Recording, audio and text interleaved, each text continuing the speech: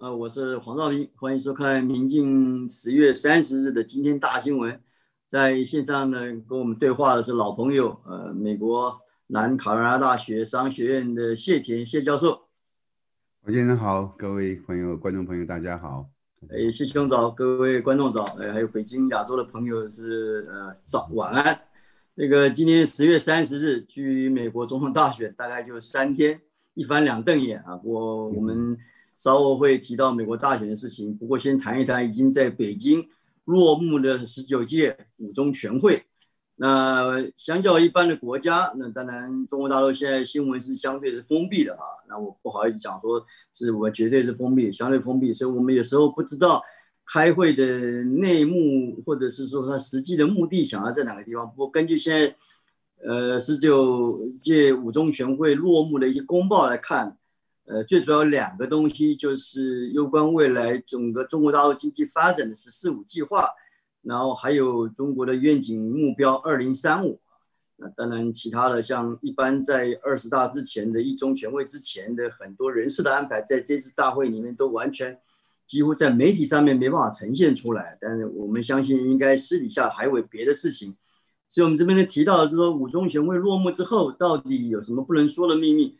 其中有“十四五”计划，因为谢老师是这个财经专家了，我们想听听看他这个“十四五”计划对未来的这个中国未来的经济发展五年，尤其在新冠病毒疫情发生导致全国全球经济啊结构啊产生变化之后，中国大陆怎么样来应应这个变局？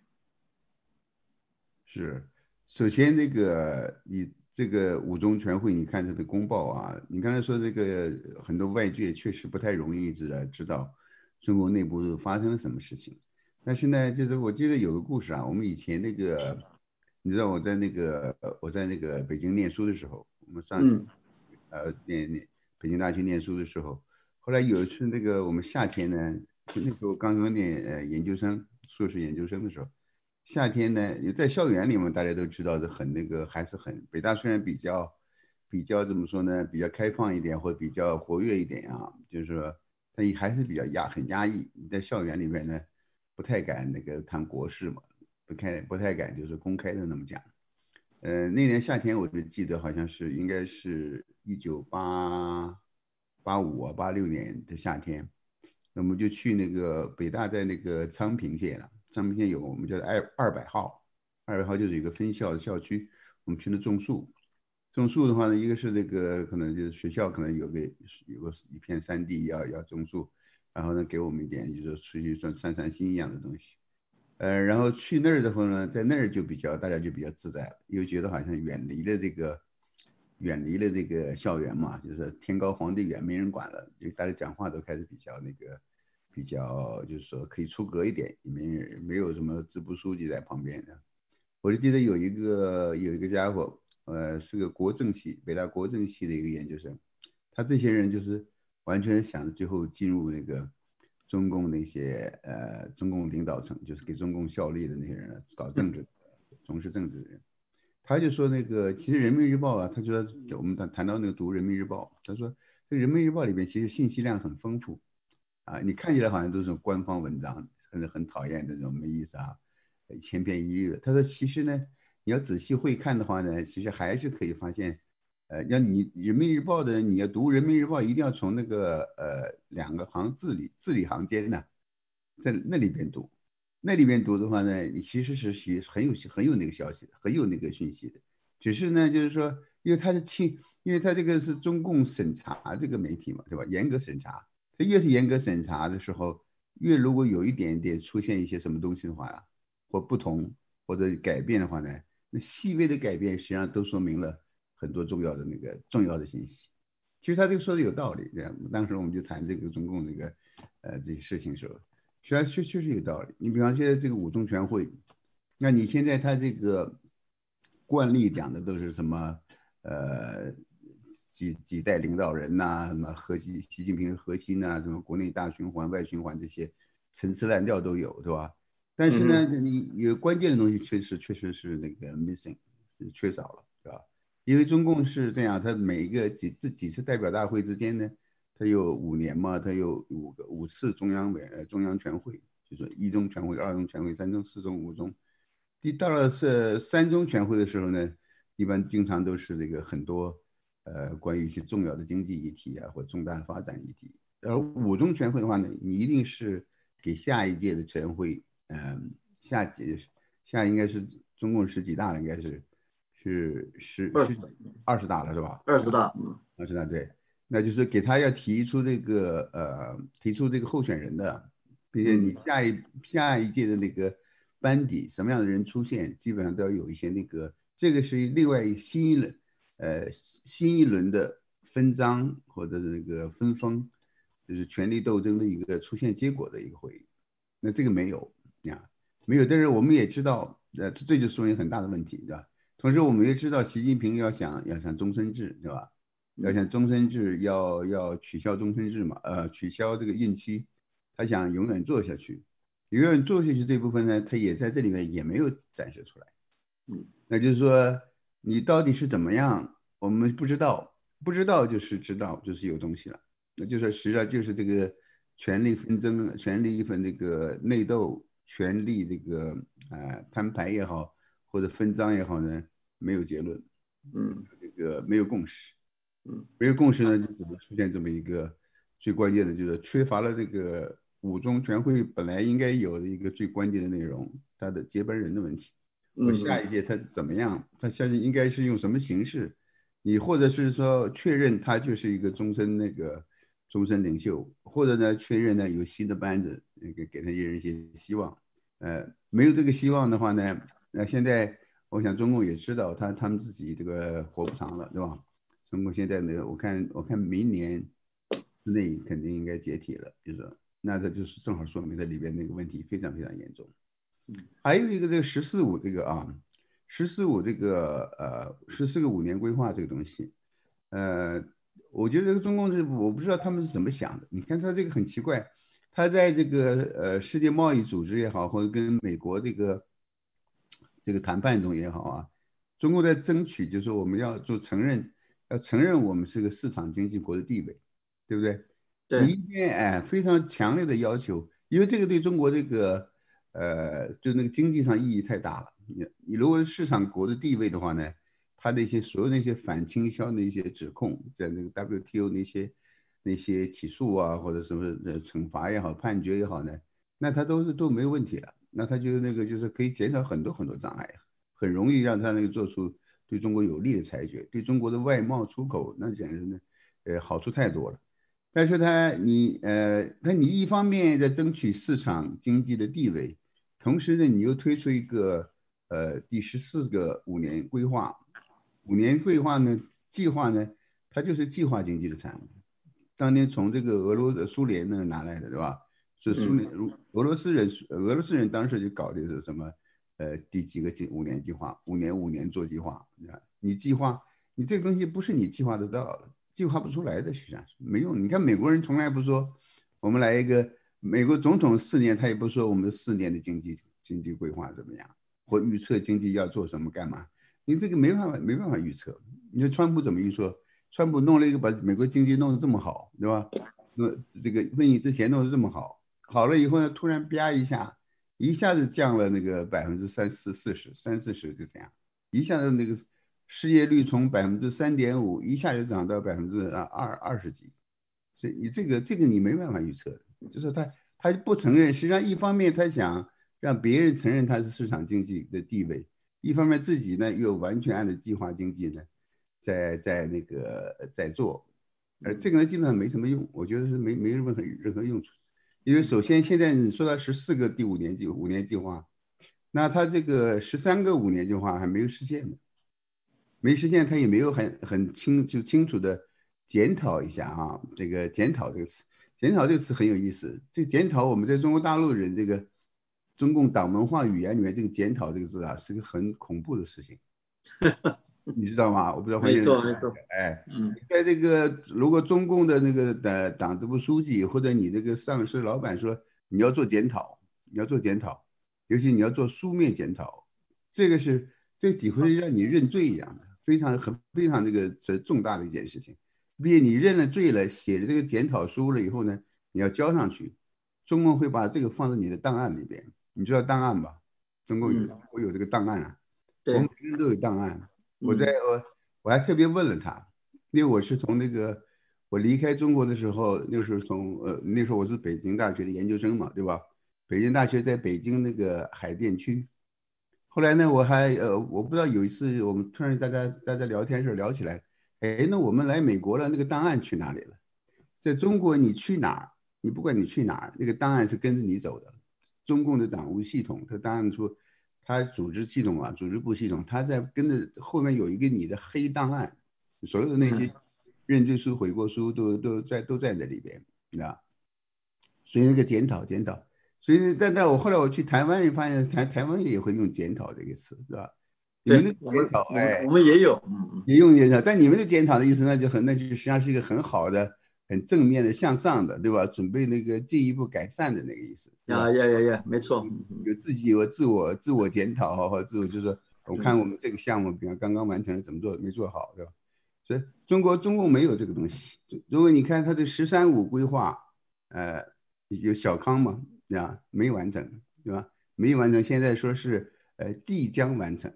现在这跟我说即将完成，你看他这话你就知道了，对吧？还有什么全面建成小康社会，胜利在望，这都是中共党文化的名词。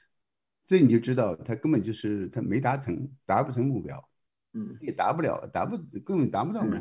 对吧？我们现在知道，连中共的总理嘛，他都承认有六六亿人收入不到一千块钱，然后呢，另外一个人大的一个同事一个类似的一个研究表明，他是九亿人不到两千两三千，啊嗯这离那个小康呢，才是早差早着呢，对吧？嗯所以他这个，所以你看就知道他这个中共内部呢，他这个呃这个问题实际上是危危机危机非常非常严重，就是说他这个也没有提起这个交班交接班的事情，也没提现在这个内忧外患，现在中共内外交困，绝对内外交困，是吧？内呃内部经济崩溃，现在经济完完全是崩溃的，OK，呃然后呢，中美关系也是濒临崩溃，中美关系这么关键的问题，你知道？这个是中国所有的外交关系的一个最重要的一环，是吧？呃，他也不提，你这个面临着那么那么困难的那个境地，当然他们还在指指望这个三天以四天以后的那个选举会出现一个 对他们希望有益有益的一个结果，对吧？还在做梦呢，对。但实际上那个你你那个疫情的问题也不提，这么重要的问题，现在连他自己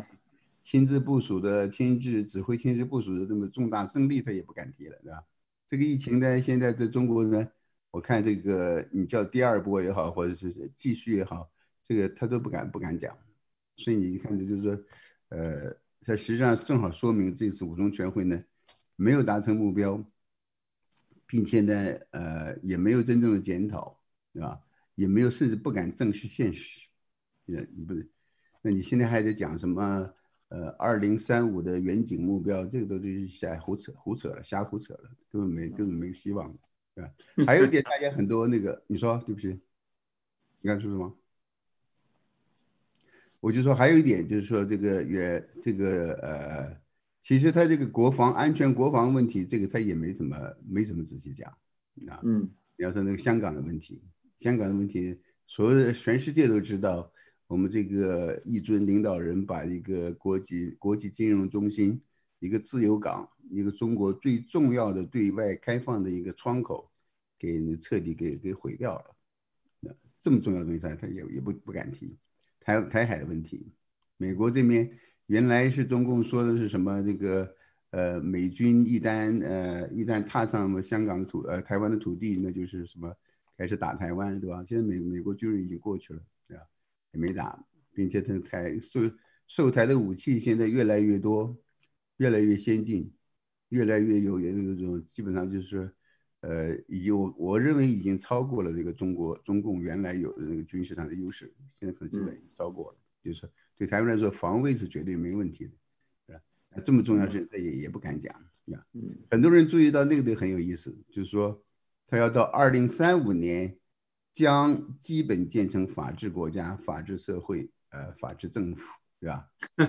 哎，那你你听说你啊？我觉得那个就是非常有趣儿，就很多人观察家都认为，就是说，那就是这等于等于悄悄就承认了，我们现在还没有连一个基本上的或者 basic basic 的那个非常基础性的一个法治的社会、政府、国家都没有。这确实没有，其实就是没有啊，它没有一个真正的那个呃，没有一个这个这样一个社会。所以这个，这就是我看，我看就是实际上就是说，呃，实际上这个正好说明，就是说，这个中共内部那个危机重重啊，这样，这样，你怎么看？谢谢老师，你要不要把麦克风稍微往前一点？往前一点，你比较接近你，可能声音比较大声一点。对对对，不，我同意你啊，因为他你刚才从先从二零三五年提起那个法治社会、法治国家、法治政府啊，表示这个是一个。一个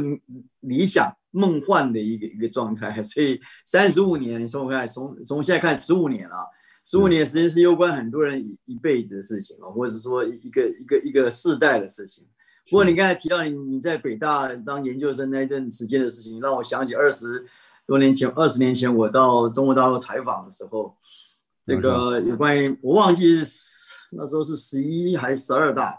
嗯，这个。因为毕竟是封闭的社会，包括采访啊各方面啊，或者是说这个大会啦，的也都是要等这个等这个 paper。那你讲就是字里行间，你必须去了解，多加这两个字，少这两个字，它的意义是什么东西啊？相较于一个胡锦，相较于一个胡锦涛，那呃，相较于江泽民，那是胡锦涛准备要上来的时候，他这个字里行间差两个字又，差在哪里啊？所以。当然，我们在解读这次的五中全会的公报，这个陈如刚才谢教授提到的哈，不能讲的秘密就是他没办法提到二十大的一个人事布局的问题，他好像不准提。事实上，在二零一二年习近平上台到现在为止，他废除所谓是在在二零一八年废除这个国家主席的终身制的问题，然后又修又修宪，去让这个事情稍微合法化之后，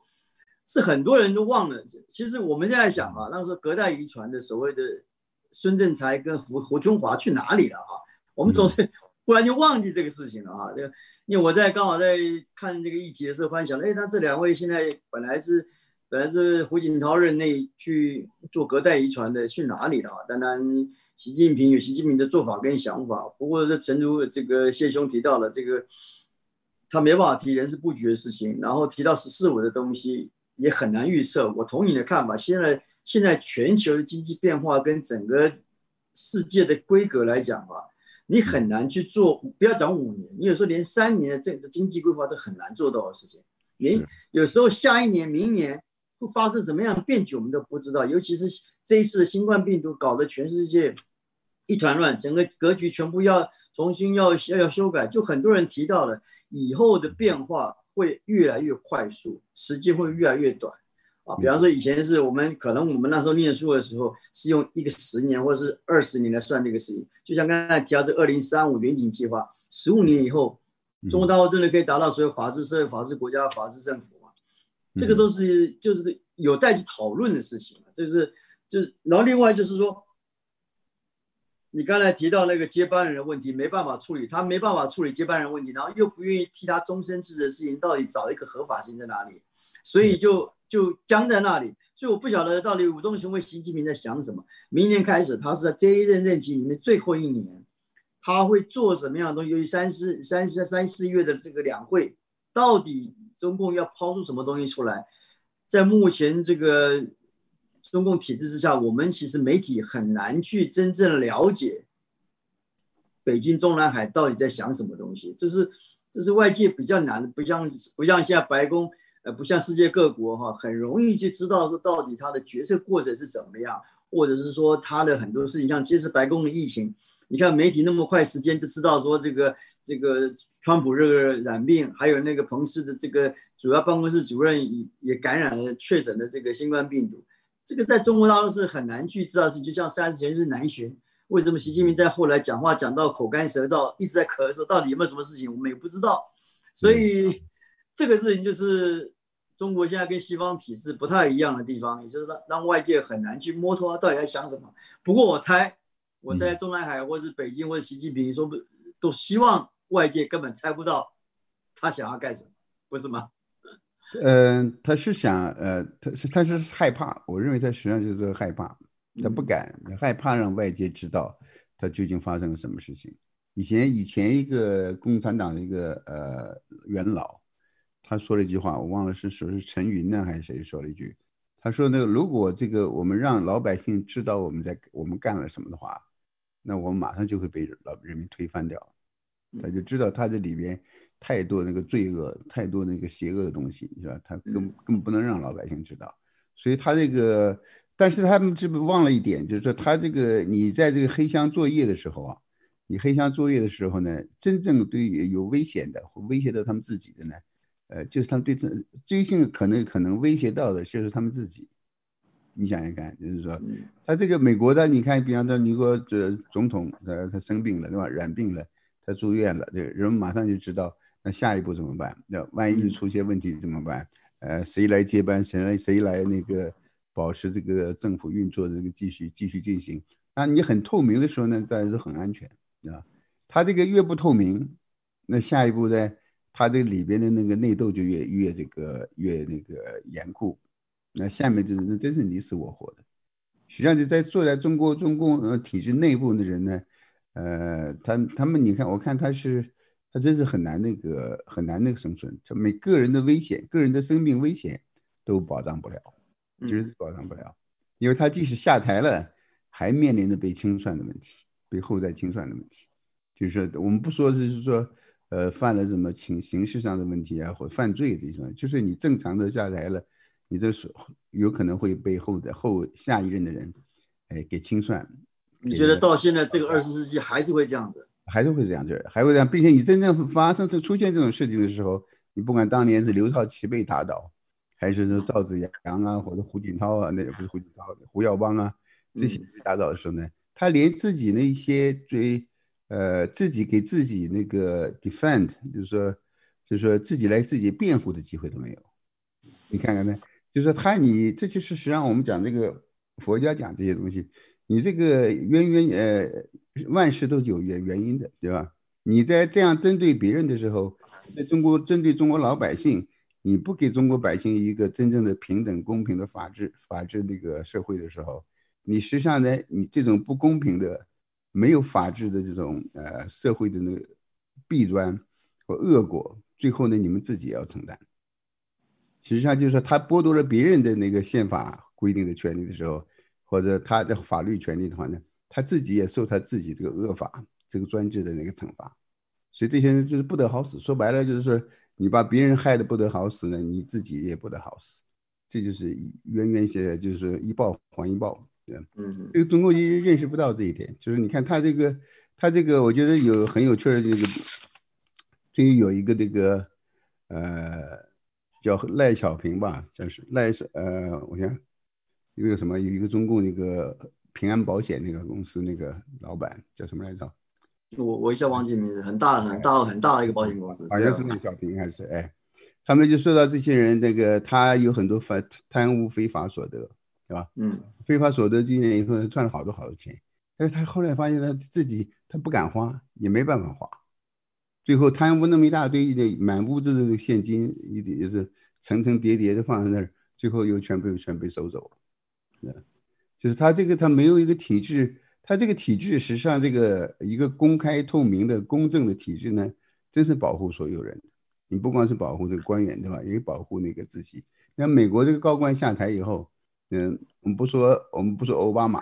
克林顿了，就是他们有有前科的问有问题的人。你一般的正常的官员下台以后呢，你他没有这个安全的问题，他可以做一个很很那个悠闲的做一个平民对吧？继续在那个。继续在这个华盛顿待着也好，在社会上待着也好，他没没什么没什么大的问题啊。那中共不一样，他一个个的罪恶累累，就是犯犯罪行累累，那个冤家死敌那么多，他时时刻刻都面临着这种危险。他可能享受着非常忧郁的生活，对吧？那吃喝玩乐那些挺好，但是他的精神世界上呢，我觉得其实很难过的。嗯，呀，非常难受的，你知道吗？那个。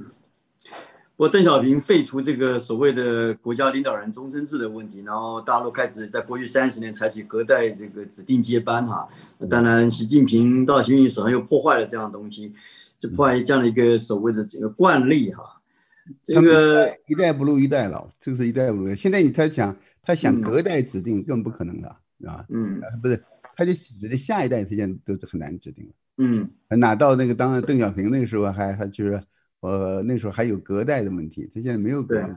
这下一代都指定不了，因为在下一代指定不了，并且你这个下一代你现在在接替的人，如果接替谁上来的时候，你不管他先，呃，也许他看起来好像是你的那个亲信，对吧？呃，或者你的班底，你弄不好上来就开始鞭尸，你知道吧？这个都是都是都是完全有可能的。不是，因为我是很担心，像习近平这样做法，就是让，就是会增加很多的不确定因素在那里。那他又不愿意去，又破呃不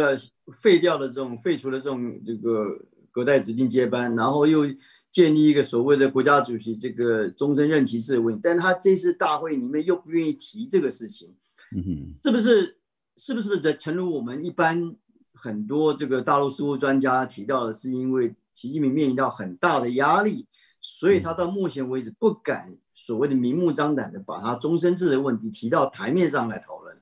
嗯，我觉得这个人可能有，嗯，他的这个成长过程中啊，我觉得他有一些缺陷，就是说，他就说，你看，当然我们看到他没太没太有教养，对吧？经常作为一个一国家的一些国家的领导人，出口都是那种很那个市井啊，就是说小民那种。就是非常粗鲁的人讲的话，那个这个实际上反映了他自己的那种那个学识和那个自己真正那个东西是不是有那个经过深思熟虑啊，或者是就是说这就是一个学一个修养水平了。实际上，毕竟你看他用的人旁边的用的人，他这个呃那些阿谀奉承的一些人呢，是像王沪宁之类的这种，是吧？他能够用这要用这样的人，这些人呢就给你讲他爱听的话。然后呢，加上他自己呢，没有足够的那个教养，又那个，呃，又很自负，那这个实际上就把自己陷入一个非常非常那个，呃，可悲的境地，你知道，实际上很可怕的这个事情。那那他现在呢，就是说，你说他呃没有没有这个能力，他我我看他也没有什么魄，没这个魄力，就是你他已经有这个机会给他，就是说你可以巩固你的那权利了，对不对？你这个权利你，已经可以得巩固了。你那反腐当年反腐的时候，你看创造了多么好的机会，你可以把那些那些那些打老虎啊什么之类一网打尽，你就可以正式推进。他这个该做的时候，对临门就差这一脚，我们叫临门一脚，就是踢不出去这一脚，进不脚就就就进不了球，就得不了分。那你现在就是说，呃，然后就开始越来越被动。我觉得他是越来越动，他错过了非常非常多的好的几时机。至少好几次，就是三四次，就是说都错过了机会。可能老天爷了，我认为上天给他了，真是给了很多机会。给，哎，像实际上上天给了川普也很多机会，给了美国一些机会，给给中国也会给机会。那给机会的，你你要抓不住的话，你抓不住，一而再再而三的抓不住。所以呢，你一边一方面呢，又给你巩固了权力，把这个实权各种各样的领导小组把实权抓到手了，你呢该做的事情呢又没做到。这叫德不配位的话，那这个就那个位置，那个位置就很难再坐得住。对。不过这个陈总，你刚才提到了，他这次公报里面啊，提了很多“十四五”计划了啊，提到了不少，当然又提到洗核心了，又提到二零三五。不过对香港这个跟所谓的和平台海问题都轻描淡写，香港只提到希望香港持续的这个长期繁荣稳定啊，那。台海台海希望和平统一的基调是没有改变的啊。那他也提到了新型的国际关系，还有人类命运共同体。我觉得这个他这个是大概是讲给欧美国家听的哈。嗯。那当然，你大部分篇幅不是很多，然后所以你也感觉出来，他这次的重点是放在内政，放在经济层面的问题啊。其他这些像国际关系啦。疫情啦，这个台海问题啦，香港问题啊，都都轻描淡写，这些都是问题。他现在面临到很大的这种压力来源的地方，他都比较轻描淡写的把它带过去了。所以，你只要最主要的这个这样处理这个公报的事情，这个着眼点在哪个地方？所以，对对，就你看出他这个呃呃犹豫不决，嗯，前后矛盾。你比方说最关键的，我看我关关注他这个。深化深化改革、经济改革这个问题啊，他这个一面要发挥政府作用，同时又要充分发挥市场在资源配置中的决定性作用。你这个就是让你感觉到呢，你就是你都不知道他他到底想干什么，你知道你如果说你这铁了杆了，你就说我就是要回到毛时代，对吧？回到经那个计划经济，计划经济，那你就铁腕去做，好好去做也行，对吧？也行，至少呢，你可以得到那批就是说这个左派那些人的中共的那个中国的左派那些人的一些支持，对吧？你也可以那个，你你也有他这个党的那个呃政府党和政府这个机构架构的那支持，你那那你就去做，你看，呃，他又不敢做，对吧？你说又要发挥市场配置在资源配市场在资源配置中的作用，那你又在那个打压民营企业，也不呃，你你说你到底是想干什么？你看，所以说左右不讨好，那，左右不讨好，那左右都不支持，那现在就是他的左谁都不能让他就是得如愿以偿。你想当你想当那个终身的独裁者也当不成，那你想那个指定后面的接班人的话呢，也也做不成。也也也没有无后，你又很难长寿，这就是问题。这也是现在中共面临的问题。所以中共，我认为这个这个正好说明他现在就是说，呃呃，即将崩溃，即将崩溃，即将灭亡。不过召开五中全会这个时候啊，刚好是美国总统大选，在四天之后马上就要揭晓。当然，现在一般预估大概十一月三号。投票开票不可能出来啊，所以我也不晓得，因为这前所未有啊。道理当然，小布希当年二零两千年的时候也有发生过这种情形啊。当然，不过那是比较单，现在看起来是比较单纯，只有弗洛伊达重新计票，因为不断好几次重新计票，结果这个小布希这个险胜了五百三十七张选票，然后这个获得了那次总统大选啊。上一次四年前基本上凌晨三点隔天。啊，投票完隔天的这凌晨三点宣布，这个川普就已经宣布当选了。希拉里也给他电话恭贺他了啊，展现民主风度啊。接下来我们就想谈谈这个最重要的这个美国总统大选。现在已经很多网友刚才在留言板在询问什么时候讨论 美国大选，所以我们小编已经跟他讲第二个题目在讨论这个总统大选。太多题目讨论了，很简单，就是根据现在最新统计，美联社最公正的统计，到目前为到昨天为止。全美已经有将近八千万的选民，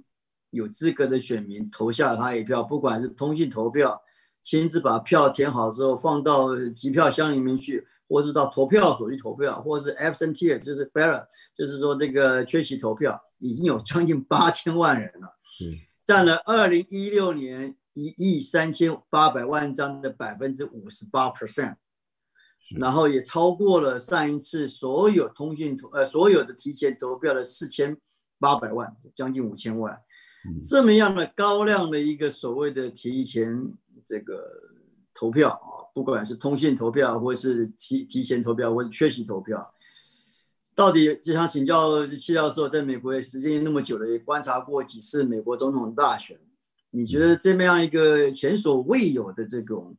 呃，那么多的这个提前投票，以及这一次预判大概可以上看一亿五千万、一亿六千万的投票人数，也就是将近有百分之六十五、六十六左右的这个投票率，也是创下美国历史以来就是一百多年来最高的一次。是这样的高投票量，对于这一次总统大选选举的结果，你的你觉得隐含的意义是什么？第二，会不会第二会不会影响到这次选举的结果？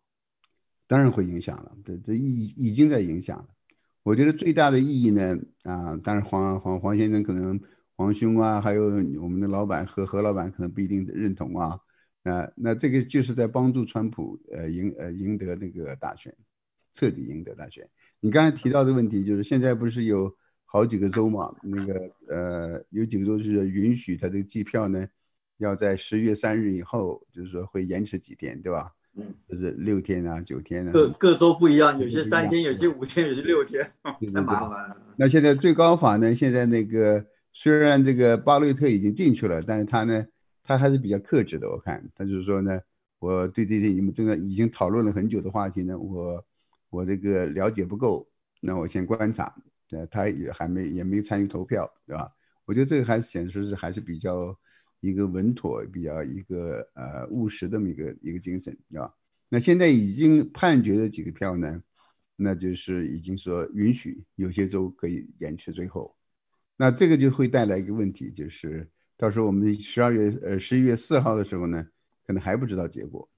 我再不知道结果再拖下去的话呢，那就很可能会有一些呃后后续的一些负效应啊，或者一些其他的问题，或社会治安的问题啊，或者其他的问题。现在，所以最好的办法呢，就是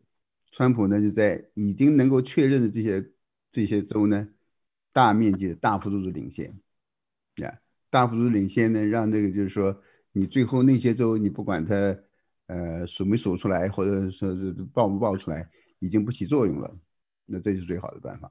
我认为呢，这个你说的非常对。这个现在有八千万人投票，最后可能大一亿六千万人，呃，来真正就是投票，并且并且还有，现在就是说最近几天嘛，最近三四天内呢，还还会有更多的这些通讯去计票，或者是那个缺席投票那些东西都开始往里往里往里来进呀。我们很多人在探讨，就是说这种提前投票这些人到底是什么人？对吧？到底是什么样的人？那那当然有很多民主党人认为呢，就是说是民主党这些人呢，他愿意提前投票，或者去邮寄投票，或者缺席投票，对吧？呃，我我我不这样认为，这至少我们看到有很多证据表明呢，就是实际上是共共和党人，很多共和党人呢，他愿意就提前投票，嗯嗯嗯，因为这个实际上他们很多人是在响应川普那个号召，就是说呢，因为那个。那天呢，一个是呢，一个邮寄投票可能有问题，对吧？再一个呢，就是说那天呢，可能会有有这些，嗯，民主党人呢，或者一些 安提法这些人呢，就捣乱的人呢，他可能会在破坏投票啊。所以现在川普的阵营做了两件事儿，一个是呢，他可能考虑会派出这个国民队、警卫队我警方呢去监督投票；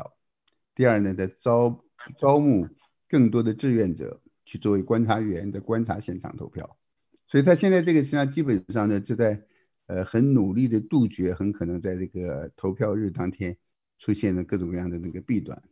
呀，我觉得这个都挺好，这个实际上是对对全美国对对两党都有好处，对整个这个民主制度运作都是有好处的。就说你要保证真正保障我们每个人每个人一票，啊，呃，我看我觉得这个呃。我看到有两个故事啊，两个零星的故事，我觉得很说明问题。有两个，一个是一个老一个老人，一个黑人的一个老人，我不知道大家可能有没有看过这个视频。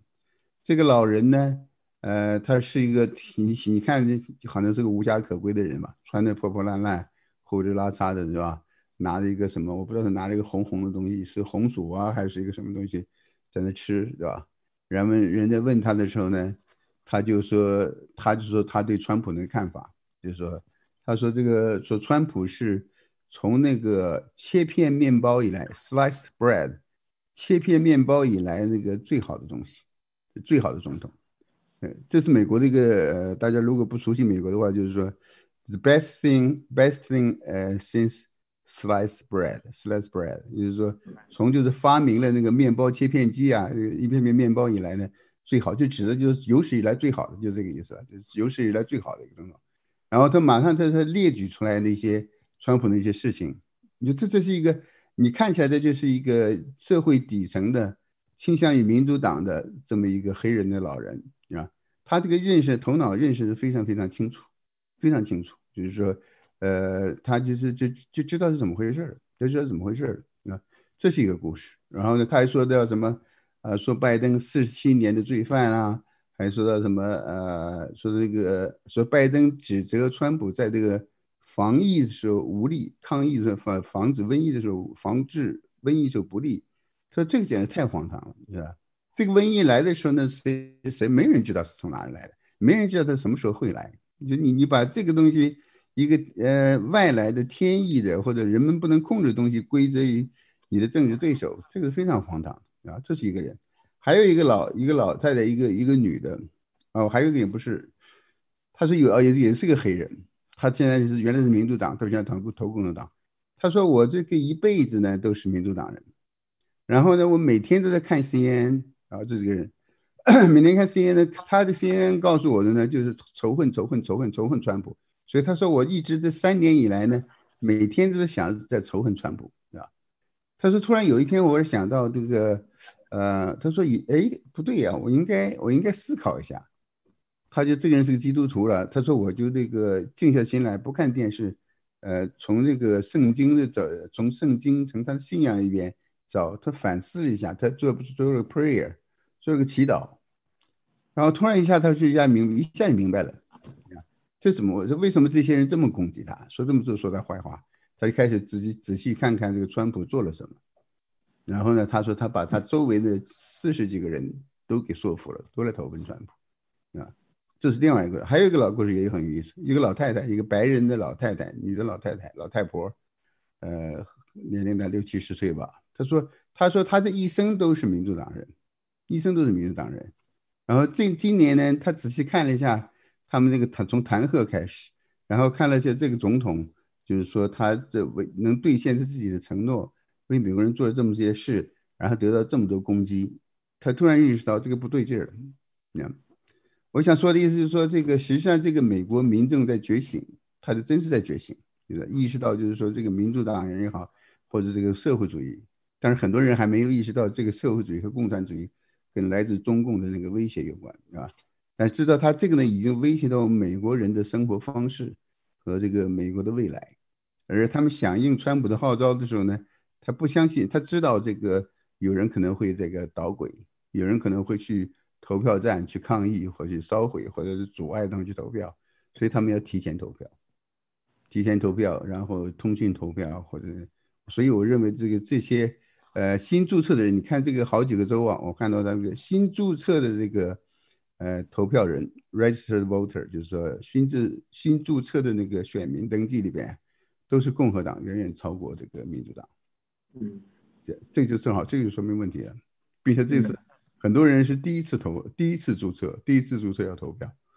所以这这个是非常的令人震撼。我觉得这个实际上是正好说明这个全民的觉醒。如果有一亿六千万人投票。我记得你上次我们提到，就是说去年上次是一亿三千万是吧，三千八百万，一亿三千八百万，哎，就算一亿四千万的话，等于等于多了两千多万今年。啊，这个也非这个非常好，最好的最好的那个民意的展示了，我觉得最好的民意展示。我我认为啊，但是我们这个还有三四天，我们就可以看到结果了。他就是说会，如果这个这么多的人投票，这么多人提前投票，这么多的新注册的共和党人。共共和党人的投选民要投票，这可能会使川普有一个那种 landslide landslide 压倒性的那个优势。这样的话呢，就这样的话也解决问题了，就是他们也也不需要再打打官司打到最高法院了。其他就是那些州晚一点出来结果也也无所谓了，这个就比较这个就比较好。我觉得对美国呢，我们这个美国民众啊，不管是你共和党人、民主党人，大家这这过去。过去这半这一一年也是也是这个吵得够厉害了，对吧？很多那个 呃很多家庭都都受到影响了，对吧？反正家庭的这个丈夫丈夫妻子互相投不同的票，分裂投票，分裂投票，然后那个上一辈下一辈分裂投票，已经已经闹得不可开交了，你知道？你现在这样的话呢，也也也让那个我们这个社会重新那个 reconcile 一下，重新这个和解一下，对吧？不过你认为选后就容易和解吗？要选前那么分裂，选后的美国，我我我我常常都想会不会更加撕裂？其实我很衷心的期盼，因为我相信美国的宪政，我也相信美国的民主机制。我认为最好的就是公开、透明、和平、理性、圆满的，呃，让这次大选落幕啊。那当然最理想的状态就是说。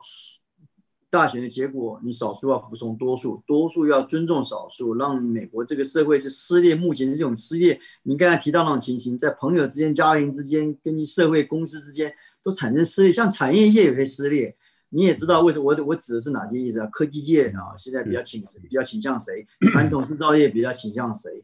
所以这个。各方面都在撕裂当中哈，这个所以也希望能够能够，但是我一直很怀疑这个事情。提到那种高 那个高投票、高提前投票率的事情，嗯哼，这个其实手头组刚才您提到了，十八到二十九岁的，我看我也是看了数据哈，十八到九岁这个很多第一次第一次手头组了，或者是说以前基本上。就过去几届总统大选都没有提投的人，这次增加了不少啊。那各族裔，我是综合很多媒体的报道，也不是我自己。各族裔包括这个非洲裔的，还有拉丁裔的，还有白人的啊，还有甚至这个妇女的，或者是青年族群的选票的各族群的这个好像增加，所以才导致这一次的这个呃整个选票预判可以。高高到一亿六千万、一亿五千万，等于是六十六十六 percent、六十六 percent 左右的这个投票率，高过奥巴马上一次高票当选的百分之六十一点多的那一次投票率，也是一九零八年以来美国这个最高的投票率一次啊。不过现在现在就是说，我现在很想很想跟你跟你 聊一聊，就是说，嗯，你觉得现在最后这三天了啊，四天，那？已经有八千万人投下一票，投下了他神圣的一票。当然，很多州十一月有规定，十一月三号以后，比方三天的、五天的、六天的，如果你收到 mail in 的这个通讯投票，还可以照样计算。那当然，很多共和党的州本来是反对这样的一个一个诉求，希望以十一月三号收到为止，能够当天点票，或者是十一月三号邮戳为主，能够拿到。现在就是太多的选票，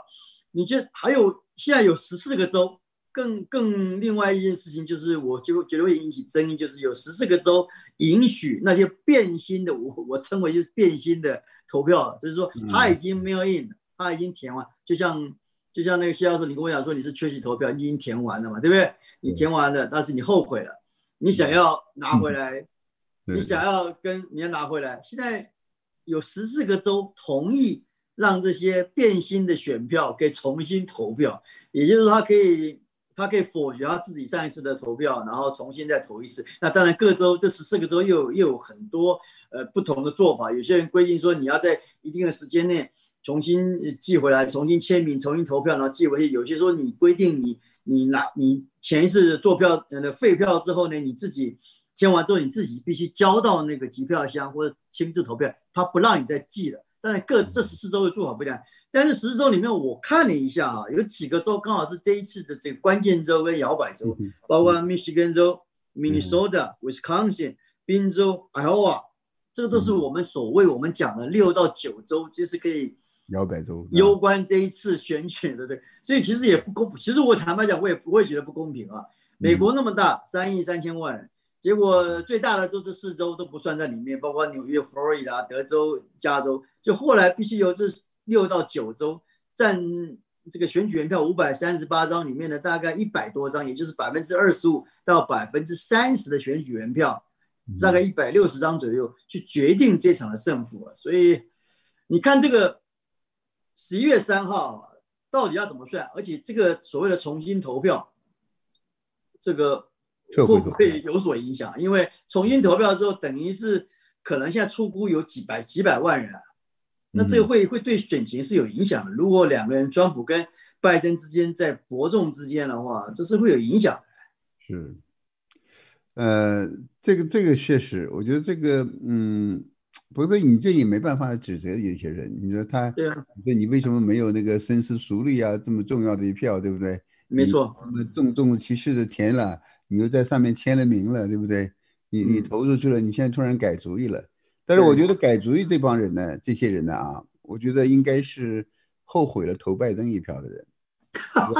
我 不知道黄兄你的你同不同意？不是我我我不管这个，我 我不管这个。我想我想两边都有，我想两边都有。呃对对，当然两边一定两边都有了。对，但是呢，我们要看的为什么我说的是更多的是这些后悔了投拜登一票的人呢？因为我们看到这些他为什么要后悔嘛，对吧？反悔的一定是就是说他这个选情也好。或者他对对这个候选人的了解也好，或者是他的认知也好，就是说他信得到信息有所变化，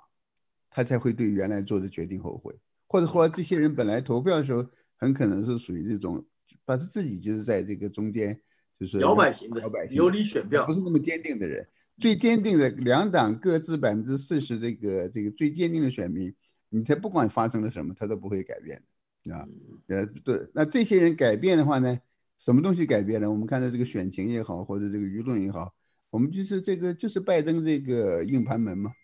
对吧？拜登这个硬盘门这个所涉及到这些最近的事情，还有拜登和呃哈哈里斯，呃贺锦丽最近的一些表现，毕竟你可以看到这个川普的这个支持者，他他的集会的支持者越来越多，越来越热情，越来越高啊，就是每次都是几万人，几万人。民主党的州长都都甚至出来阻挠，就是不让这几万人、两三万人呢，在这个场地这个聚聚集。他当然他就用的借口就是什么，呃，这个呃不安全啊，什么瘟疫。本来 CDC 现在的概念就是说你不能够大型集会嘛。对对对。但是但是你这个这个这个这个对比太明显了。你看你不管像我记得纽你们纽约州有一个有个九千人的那个支持川普的一个车队，说是整个这个车队啊排起来有八十英里长。这个在纽约啊，这个你这个你像那个你看，但是你看那个拜登的拜登的那个集会。他那个拜登集会，他基本上他和那个特警力是对着汽车演讲。你看下面全是汽车，一大堆这个停车场停的停停停满也没停满了也没几辆。没关系嘛，人家 人家遵守规定嘛。啊，没问题。那你也只能他也只能用这个说法了。那我想说的意思是说，我一定要跟你我要跟你平衡一下，免免得观众说我们两个偏心。一面倒一面倒啊。啊，没问题，没问题，没问题，我理解你的意思的。对，我充分尊重你的选择，这点毫无问题。我觉得这个社会呢。你即使不管再怎么样，有一部分反对的力量，对吧？就像那个金斯伯格他讲，金斯伯格，我是坚决认为这个人不，这个女士啊，她不适合做那个这个大法官的，因为他已经完全丧失了大法官应有的客观立场。只是自己作为大法官，他居然干涉政治，干涉这个直接攻击川普，对吧？我从他的理，就从这个职业上，我是反对他的。但他有一点，大家觉得都觉得很那个很难得，就是他愿意当这个反对派。I dissent，说 I dissent，他经常是引引说的这句话，就是说他我我持不同意见，要持反对意见。我觉得这个至少就是说，呃，不管我们认为这个民主党的一些纲领啊、政策啊，呃，有多么多么荒唐，但是我们需要有一个制衡的声音，这一点是肯定的，对吧？那就我回到我们这个话题呢，我认为就是说，呃，你如果看着过去这一个月，在选情啊。或者舆论呐，或者双方支持者的一个热烈程度啊，就是说，呃，唯一有可能的影响这些人这个投票的话呢，应该是很多投了拜登的人呢，他现在要想投反投川普啊。那这个有这些会不会影响到这个这个选举的结果啊？我想，我想可能应应该影响不到。你说，你说有多少人？呃，应应该达达不到这些，达不到这些数字。这毕竟我们毕毕竟我们现在还有。还有还有八千万人，就是他三天以后要去投票嘛。嗯嗯，这部分人对这部分人，如果就是说因为现在变化的选情，你比方说拜登这个电脑门这个丑闻，或者是那个新的就是说对川普的支持程度有所增加的话呢，这八千万人的投票呢，还是会显示出一些那个趋向来，还是会有一些那个影响的，对他们也是有影响的。所以，我呃，我现在更个更关注的，实际上是，我认为就是说，实际上是，呃，我在想啊，这个你，我想听听黄先生意见。美国人民，美国人民一民众啊，一般他是不会就是说，让这个一个党来占着的三块地方，参院、众院和白宫都占着，对吧？那个的话，对实际上对这个民主运作和制衡的话，是一种实际上有点缺陷。所以你看，我们以前经常看到。呃，美国民众的选民把这个一个党的人送到白宫，那给另外两院呢，都是给了另外一个党，或至少有一个，对吧？以前我们看过很多这个东西，就对对白宫有一些制衡，对吧？那这次呢，就是说这些选民会不会就是说给给川普一个大礼，啊，送一个巨大的礼物，就是说给他一个国呃共和党控制的两院，让他可以放手一击。因为他最大的使命，我最最重要的事情，我认为呢，就是我以前也谈过，就是这个解体中共，消灭全球的共产主义，然后真正使美国作为一个自由的保护神呢，呃，来真正的振兴起来。美国振兴起来了，这是一个自由世界的龙头，对吧？我们自由世界的旗手，也可以震慑所有的邪恶，把这些恐怖主义啊、伊斯兰恐怖主义。共产主义、社会主义国家一起清理干净，把这个世界清理干净了。我觉得那个时候过了这个以后，下一次，比方说彭斯要竞当竞选也好，或者庞佩奥竞选也好，那个时候呢，你说给他一个民主党的国会来制衡他一下，那时候我觉得可以。那现在呢，现在也如果现在这个民主党能够还要继续控制众议院的话呢，那川普呢下一步呢，下一第二任期呢，还是会有很多那个掣肘。这个呢，我就觉得不至于不利于他把他这个使命给给好好的完成，完成他的使命。所以呢，但是这个美国这个选民会不会给他一个大的惊喜来协助他呢？还是会继续保持这种这种传统的那个制衡，balance check and balance，这个是我觉得我我在关注的问题。你觉你觉得怎么样？你觉得台湾现在行政立法同属一个党好吗？呃，这是到目前到目前实施，你觉得好吗？以前是以前是呃呃，一般情况下是不好，这个我我认同，这确实是不好。你必须对那个，这就是我们民主的优势嘛，对不对？我们有这个。现在因为你你在问我意见，我就很单纯的举台湾的例子。台湾现在一所谓的嗯行政立法，同样属于一个党的很多的后遗症，慢慢的在发酵当中。只是这种问题没办法显现出来，因为没有所谓的选举可以去检验这个问题。我们再回想一下，川普二零一六年当选，一八年的其中选举，其实选情对他不好了嘛，对不对？其实其实选民那时候已经有点 warning 啊，一般很多评论的文章都说这是一个选民对川普的一个 warning，一个警告出来。那这样现在两年之后了，这次大选结果怎么？我不知道，我不是神仙啊，我也不是上帝啊，我根本我根本不知道结果会怎么样。那那你只能就去判断，就像刚才我们提起提到了这八千万人。对政治的热情，以及害担心新冠病毒感染，所以提前投票，不管用什么样的方式，啊，但是我们没办法，我们只知道说这个登记民主党的选民好像稍微多一点，比共和党多，但是我们不知道他投给谁，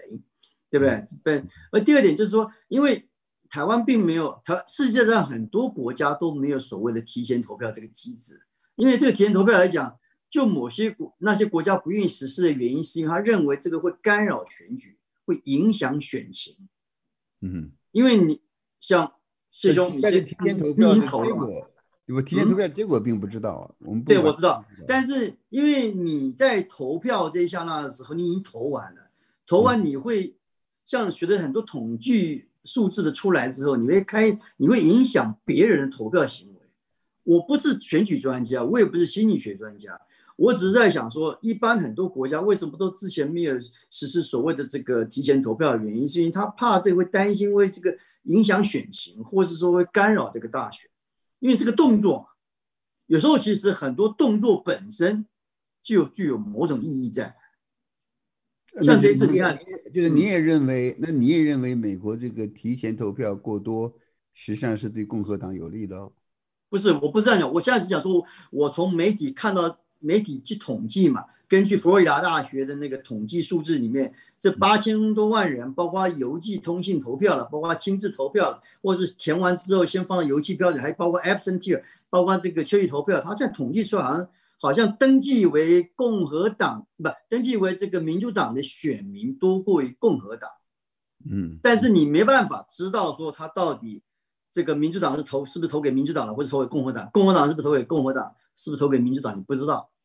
你这不这不能开票嘛？你也不能去事先知道的事情，只是说你只能知道说现在去，因为他可以看得出来嘛。你在你在选你在看那个 barrel 的时候，你在看那个选票的时候，你会知道说哦，你要登你是登记是民主党党员还是共和党党员还是 non party 嘛？很多是 non party 的。现在统计出来好像是两千多万人是登记共和党党员，嗯，民主党党员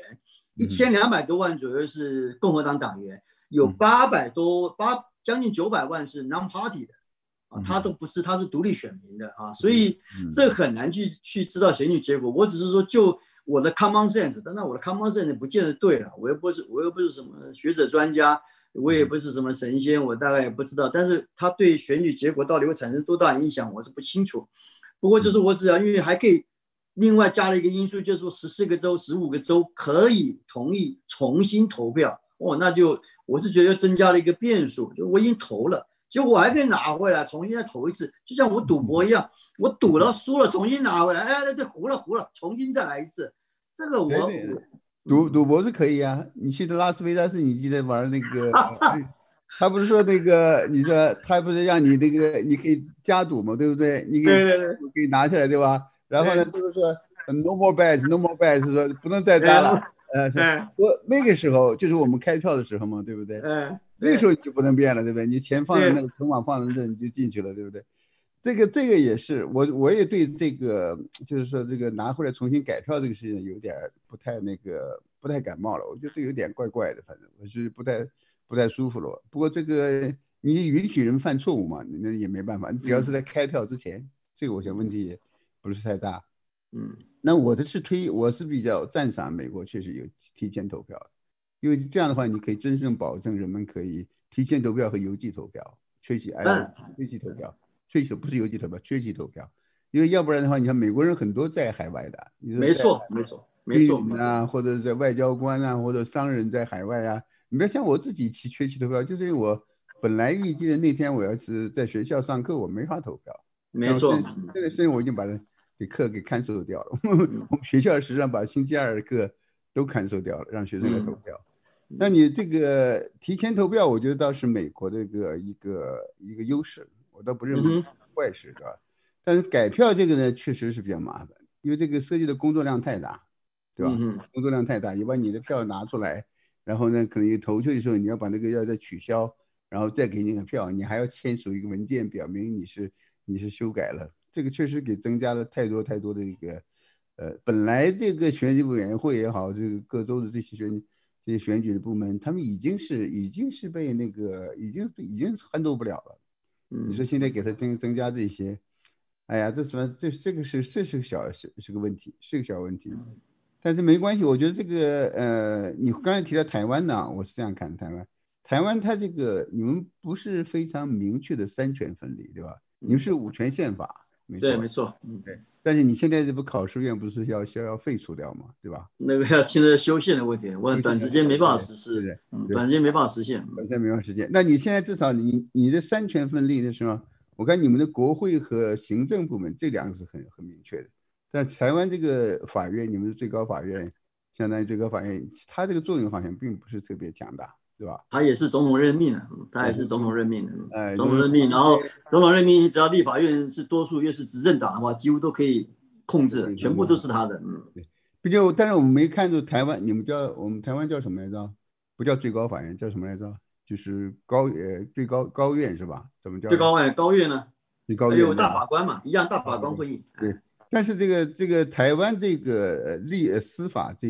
这部分，它起的作用远远不如像美国最高法院这个。哦，没错，我同意，我同意你看法，是吧？对，所以基本上是两权分呃两权制衡的，基本上来说，两权制衡的。但美国这个确实是三三权分立，没错，三，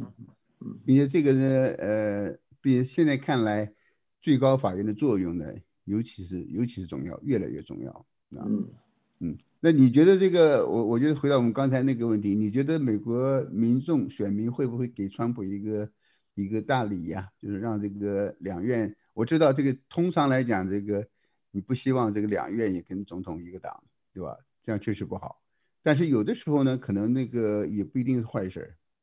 比如说四百三十五席的暂时暂时四百四百三十五席的众议院，你要全部改选，你说这次以现在目前氛围。要让共和党全部掌握，我觉得有高难度。那参议院我是觉得还是会维持全部掌握，你就你就多就是多数派就行了，有个多数派就行了。你现在要不然的话，你看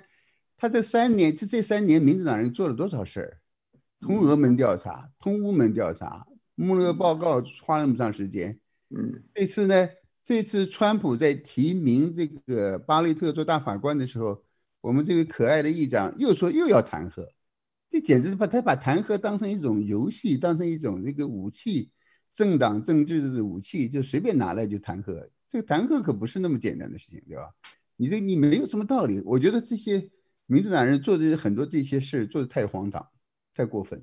其实其实佩洛西很多的做法，其实他是被很多民主党的议员，当然媒体有讲过，他被他被民主党议员绑架了嘛？绑架他他必须他必须做出这样的一个决定，政治决定出来嘛？这边重我强调政治两个字，政治决定嘛，对不对？民民这个民意也批评过他嘛。其实佩洛西这个人也很好，你也知道这个这个对不对？西教授你也知道，他对他对民权，他对中国的这个人权、民主，对台湾的民主，他当初都是都是很支持的。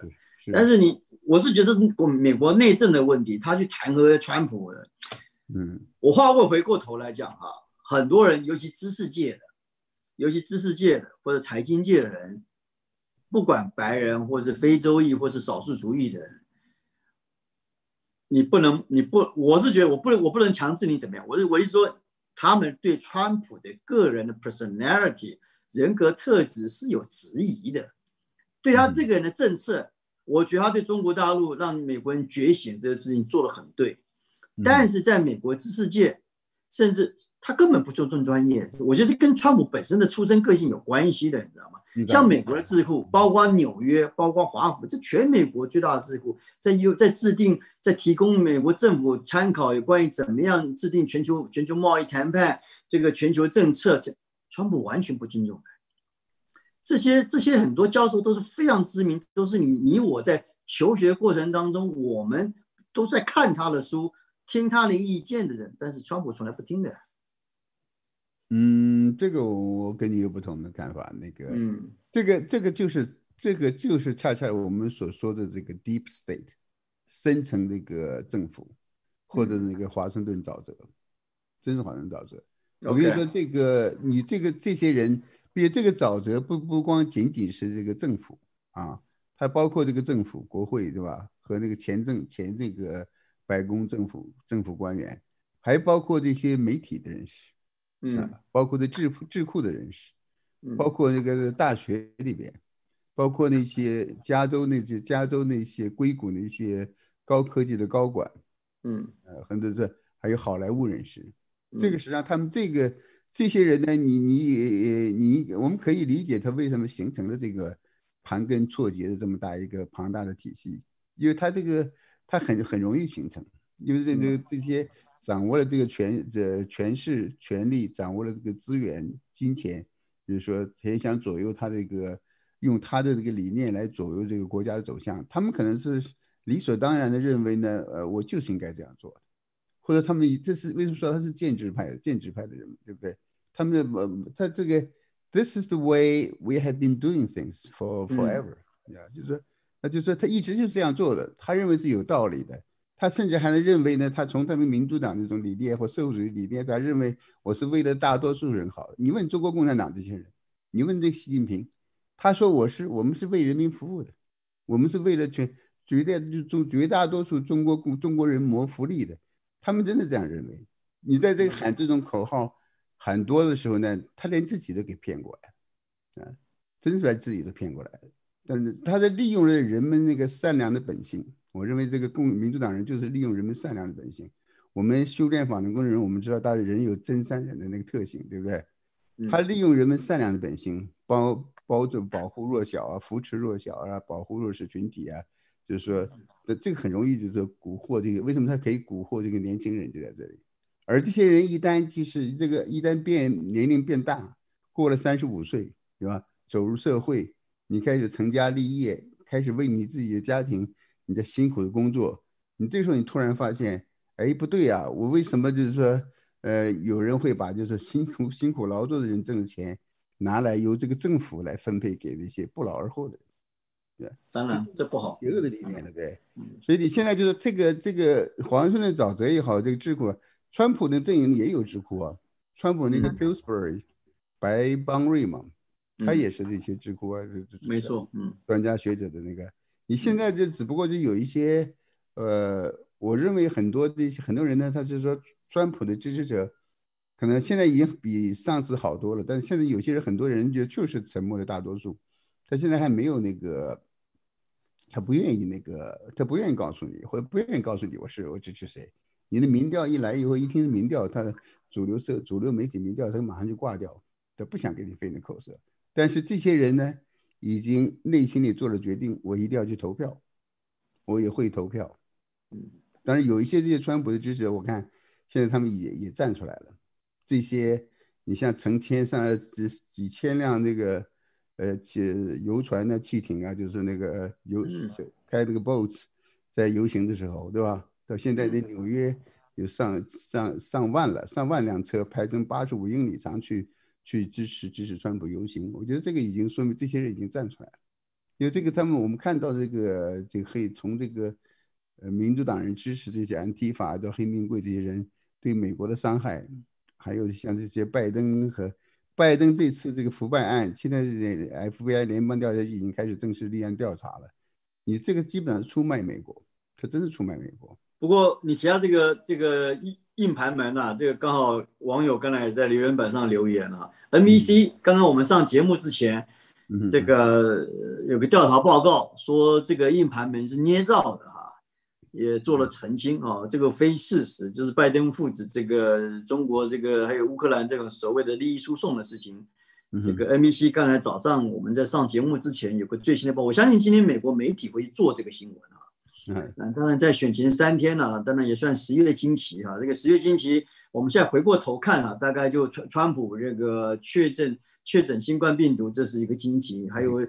这个上一次密西根州长可能差一点被绑架，这是个惊奇；还有这一次的这个。这个拜登父子，就里安里前纽约市长、前市长，这个爆爆料了这个这个市长，但是 NBC 今天早上做这个东西，我相我相信美国媒体今天会做这个，是因为这牵涉到台湾的苹果日报、香港的苹果日报啊。这个我是也蛮复杂。苹果日报跟黎智英刚刚也发了发表了声明，在我们上节目之前，他也发表了一个声明，他当然撇清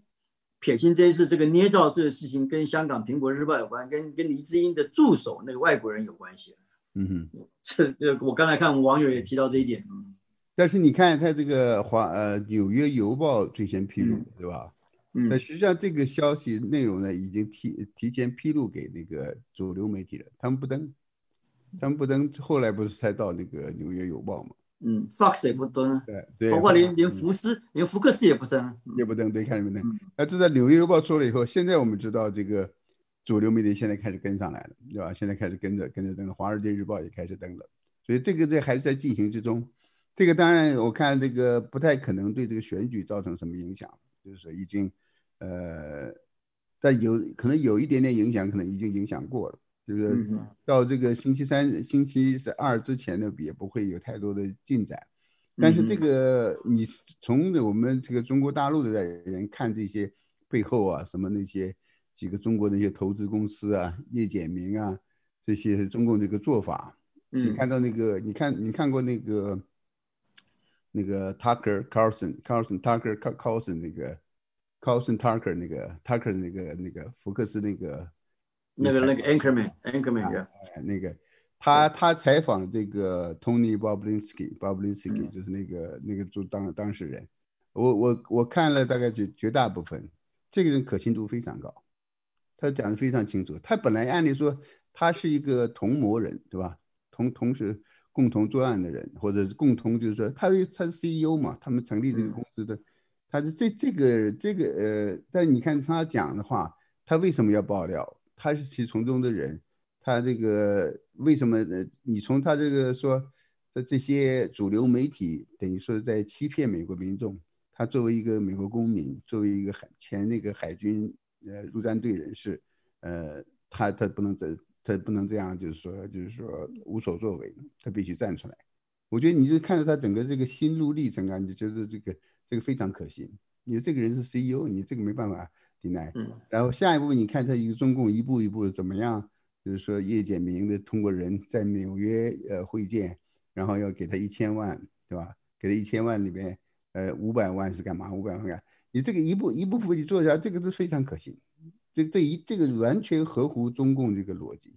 中共呢，一定是通过这些人有着国安背景的，这个叶剑明这样的人，又是高又是中共那个红二代，又是有公安特务背景，然后在海外控制公司，在纽约安排这个酒店做这种交易，这些一切都是这个水到渠成。这个不是不是能编得出来的，也这个可以查得出来的。那你像那个拜登的公司从中国拿到那个十五亿，对吧？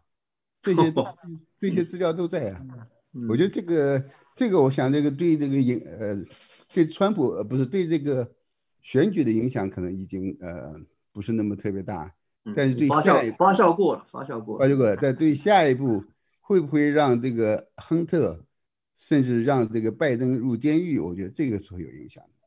并且这个还涉及到。更多的那个民主党那些大佬，所以这个这可能是真正就是说让这个沼泽地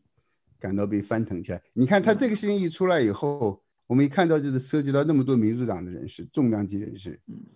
这个一下有人马上就，当时我当时是感觉说，哇，这一下就很清楚了，为什么这些人这么拼命的反川普，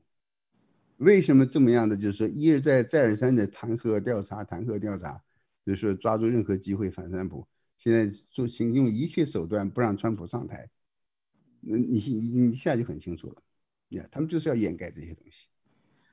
我因为提到硬盘门的事情，我们观众一些人很关心哈。如果你有一些想法，你等下在我们讨论的时候，你也可以打电话进来哈，我们想听听看你的意见啊。那当然，这边网友里面有人提到他不相信 NBC，他但他有些人说他相信 NBC 啊。不过你刚才提到下监狱的事情，有一点我倒是我我我这个中性而言，我是我是觉得川普在各场造势的这个这个气氛都很热烈，但是我我实在是不赞同他把对手说他把他告诉他的群众说把把拜登关起来啊，把密西根州长关起来。我坦白讲一下哈，这个这个，如果我跟你我跟你在选举啊，嗯哼，我跟我的选民说把谢田关起来，对，然后谢田说把黄兆平关起来，嗯，这个我这这有点在背后在怂恿一批黑帮啊，事后做一些事情，我觉得这这不是符合民主的这个这个，你可以攻击，你可以攻击拜登做的哪些事情不好，拜登四十七年。根本对美国的政治没有做何认识，他过去八年副总统任内，他该做的事情他也没做，在鉴宝上面也没有什么建树，他在去从事这个呃外交，就跟中国习近平平起平坐的时候，他也没有替美国的利益。你可以去攻击这些事情，但是你你说叫选民把他关起来，你你说嗯不不是这个 lock her 呃 lock them up 是吧？lock lock up 对吧？这个不是啊，不是我我当然知道，我是说，他说美国政府应该把他关起来。不是你这个总统，你行政你怎么可以干预司法呢？哦，我我不我不认为我不这样理解啊，这个你不这样理解，OK？我不这样，我认为他就像你记得二零一零年的时候，他选就是说 lock her up，嗯，要把希拉里那个关起来，关起来并不是说他用总统的权利，他指的是这这个希拉里的电油门用什么硫酸呢、硝酸把那个电电脑硬盘给给销毁。然后三万五千个邮件给销毁，但是现在居然我都不知道他们怎么做的，把这个销毁的三万五千邮件又现在又全部给那个复制出来了，给翻新出来了啊！科技太厉害了，科技太厉害了，对，吓人了。所以呢，你要吓人。我这我认为这个电脑在你小心点，这个真弄不好真真是那个有有其他的生命在控制的。所以你这个电脑里面东西，我认我不相信我这个电脑。说老实话，我们现在我用电脑对吧？这里面所有的东西，我认为可能都都永远有备份的，消不掉的。我不晓得，我我不晓得你有没有感觉啊？我是觉得我们活在这个时代哈，没有三十年前、四十年前快乐，因为我们现在做的任何事情，就是凡走过必留下痕迹啊。你像我们用手机、用电脑、用 iPad，哎呀，留下太多痕迹了。是是是是，再呃，再回到我们刚才那个话题啊，嗯，我我认为他这个川普说的 lock her up，指的是他那个希拉里这个电油门呢，做了这些违法的事。他首先那个不应该把政府的公务和机密放在那个人电脑上，那现在又销毁证据，对不对？他是因为这样的话呢，他可以会被起诉，通过司法程序被审判判刑坐监狱，这是川普所说的意思。我知道，但是我觉得他不应该在造势场合讲这种话，那这个会有煽动别人情绪的作用，你知道吗？造势哎，黄兄啊。造势 造势就是要煽动情绪，对不对？还有一点，你可能大家很多人 很多人他们不喜欢这个川普这个个人特质啊。我是觉得这个呃，我们可有这么大一个沼泽地，有这么多这个呃建制派的人 establishment，这些老年的政客，你知道嗯。拜登有四十七年了，四十七年没有从事一个在一个工厂啊、公司啊或什么地方从事任何这个作风做。政客真正的创造价值的工作，他这四十七年都在那儿在分蛋糕，从来不想想怎么样把蛋糕做出来。你说这种这种这个资深的政客，不是资深的，我们不用资深，是老牌的政客、老油条的政客，他盘根错节，就这个造成这个大沼泽地。你要弄一个，你要弄个圈内的人把进行改革，根本做不到。我们需要有一个从外面来的，不是政客，对吧？但是又有魄力，又有这个决心，还有这个能力，还有这些就是说雷厉风行的手段。有我们需要这么一个人呢，来空降到这个华盛顿，把这个沼泽地给打破。我们已经有了天选的人，已经在做了，是不是？你你下次出来选，我一定支持你。我不会的，对吧？我我觉得没意思。我觉得那个你看，我们我们可以评论对吧？指点江山对吧？挺好，激扬我。指点江山，你说他去，你尤其那个众议员，你去，你说这个，你去当众议员两年一两年的任期，你刚上去还没做什么事情，你还没做什么事情，马上又要面临选举，屁股还没坐稳呢，隔一年就要开始又要开始浮选造势了。就是就是，那我要有意愿要表达的话，我可以写文章，我可以上黄先生的节目，对吧？上何老板的节目，对吧？呃，你骂你们，你们也不生气，那挺好，对。或者你生气的话，我到另外一个地方去骂或者讲，就是你你这个你可以评论这个政治，对吧？评论经济，或者你给出这个对你这个社会呢，不管是我们美国社会、中国社会，我们提出一些建设性的意见，你能起到这个作用，我觉得这个嗯，这就很好。你就是让我去当政政客，嗯，我不会去当的。你看那些政客退休了以后做什么？你知道？很多政客退休以后，他回到我们大学来当教授了。还有还有到到公关公司或到顾问公司里面当顾问，嗯，或到智库，哎，到智库里面去，对，就这样。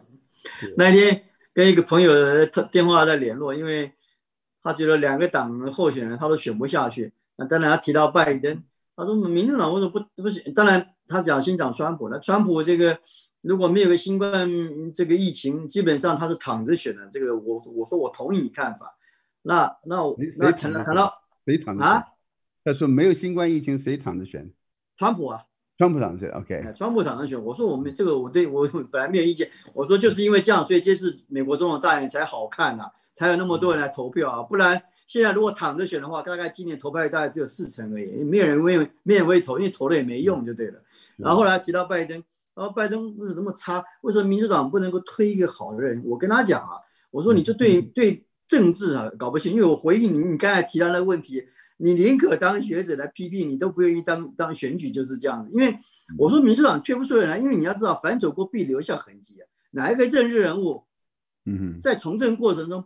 那个不沾到一点，那个没有 hiding 一些，没有隐藏一些，没有藏一些，每个人都有，所以每个人都不愿意出来，因为出来就全多路，往台湾叫全多路，就全部曝光了嘛，所以人都不愿意。接受那个煎熬，所以当然很多人不愿意出来嘛。那因为拜登当过八年副总统，反正是是，他他他当过副总统，他选过了，就让他出来算了。对对，你看那个政客啊，对现在那个，你看拜登，你比方说前面就是威威斯康，呃，不是威斯康星是在哪？宾夕法尼亚州那个那个 fracking fracking 的事情，对吧？我知道，下一个裂翻出来，那个那个炼炼油的问题，裂水压裂解石油这个这个裂解石油的问题，裂解是，他这个他以前你你当政客为什么这政客非常虚伪？就在这里，他他面对这帮人的时候呢，他不敢对这宾夕法尼亚人说，我反对 fracking，反正的话，这些人就不投他的票了。他为了投票呢，他就要说他迎合他的话。他到另外一个州，到加州到纽约的时候，他们又就说。我我反对 fracking，对吧？我不支持呀。我们要环境，要环保，要什么清洁能源。就这个为什么我觉得这个呃政客呢？呃，非常恶劣。政客啊，我不是说政治家啊。这个政客呢，他就说他实际上为了选票，他没办法，他一定要选票，或为了捐款，对吧？他一定要说违心的话，不诚实。他一定要说要讨好别人的话，不能讲他真自己内心真正的想法。这这个是我绝对不想去做政客的，这你讲的没错，我完全同意，我完全同意。你心里都是扭曲的，你知道吧？你这没错，你干嘛要活做成那样的人呢？对不对？你为什么不能够按照真诚和善良的原则，就是你爱你愿意你认为是对的，你就讲你的真话，你不用担心你得罪人，对吧？像我写的文章也好，讲的演讲也好，有很多人会骂我，或者是会不同意，那没关系，对吧？你你你这个你可以有你的观点，我有我的观点。毕竟我坚持我的原则，我不会去因为这个要迎合什么人去改变这个东西。Yeah, yeah, yeah, yeah。川普就是这么一个人，川普就是这么人，这是美国人。我看这美国人现在越来越喜欢他了，你没发现吗？真的，民主党人很多也越来越喜欢川普。大家学那个 “We love you, We love you” 这个，这个不是不是个口号哎，这可不是个竞选的口号，竞选的口号是呃。Four more years，或四年再干四年，什么？这是竞选口号。你说那个的民众发自内心的说，他们热爱这个老人，对吧？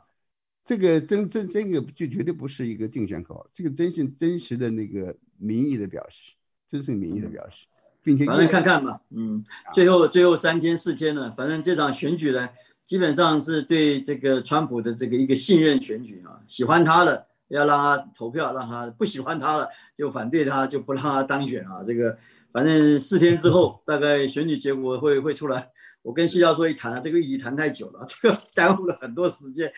不好意思，我要掌握一点时间啊，我不能够再这样谈下去了。反正我们这两天还可以再谈一下美国总统大选。那这个议题我们大概就就暂时谈到这边。观众如果等一下你有意见表达，你可以再过再忍耐一下，等下可以打电话进来。接下来两个议题我们很快的把它过一下，就是日本首相菅义伟有提到的这个一些很重要的问题，包括习近平，因为他在日本参议院提到的话，他说习近平中国国家主席习近平访问日本的事情不是他现在当务之急。当务之急是现在怎么样控制疫情？我相信他讲的控制疫情，是因为明年东京要举行这个东京奥运，因为延期了一年了，东京势必要一定要举行这个东京奥运。他如果夏季夏季奥运，夏季奥运，谁？不是不是冬季奥运，是夏季奥运，好像是。对，夏季奥运就在东京啊，在东京举行，在东京啊。对，东京奥运，我以为你说冬季呢，不不是东京奥运，东京啊，东京东京奥运，那个冬那个冬季奥运是在北京嘛，是在北京，所以菅义伟提到了这个这个现在习近平访问日本不是他当务之急啊，他在这个时候讲这个话，尤其刚从越南跟印度尼西亚访问回来，这个谢连兄你怎么看待菅义伟讲的这句话？这个这个肯定是这个呃客官方用语了。就是说，他不能够不能说呢，我不反对你，或我对你没兴趣啊，或者现在就是说不需要那个不需要跟你谈，或没什么好谈的，这个就是肯定是一个呃托词。我认为这个是托词。这个确实，实际上这个菅义伟呢，我觉得这个日本他现在没有必要。他现在那个日本跟美国在这些方面都站得很很近的。你可以说这个，我认为这个菅义伟呢，确实是呃完整的。继承了这个安倍的这个整个这个外交政策，可能甚至是包括他的经济政策，很多那个国防的外交政策可能都是，呃，是安倍的一个继承人。他本来好像，呃，好像本来也就是这样的人。那他现在这样做的时候呢，他就实际上是告诉中共，你这个我们现在的这个分歧太大，并且呢，他日本和美国站在一起，他不会对这个中共现在有任何这个妥协和让步啊。呃，我不，我认为这个是用这个病毒啊、瘟疫，这个绝对不是，就是就是一个说法而已。而现在看来，这个中日之间在这种领海啊、领空啊很多这个问题上，这安全技术的问题上，这些分歧也越来越明显。因为他很坚定的跟美国站在一起嘛，对吧？所以你看他说，呃，日本与中国之间存在各种悬案，该坚持要坚持，别并且要求中国方面积极的加以应对。呀，该坚持坚持，就是首先就是他认为，就是说我们没有没没有没有达成任何，就是说妥协或任何那个呃取得一致意见的一个基础，没有这样的一个基础，没有这样基础，他没法谈，也也没什么好谈的，并且中共呢现在在中共在挑衅呢海警船进入钓鱼岛这些东西的时候呢，呃，他日本做出抗议，做出要求，中共也没有回应，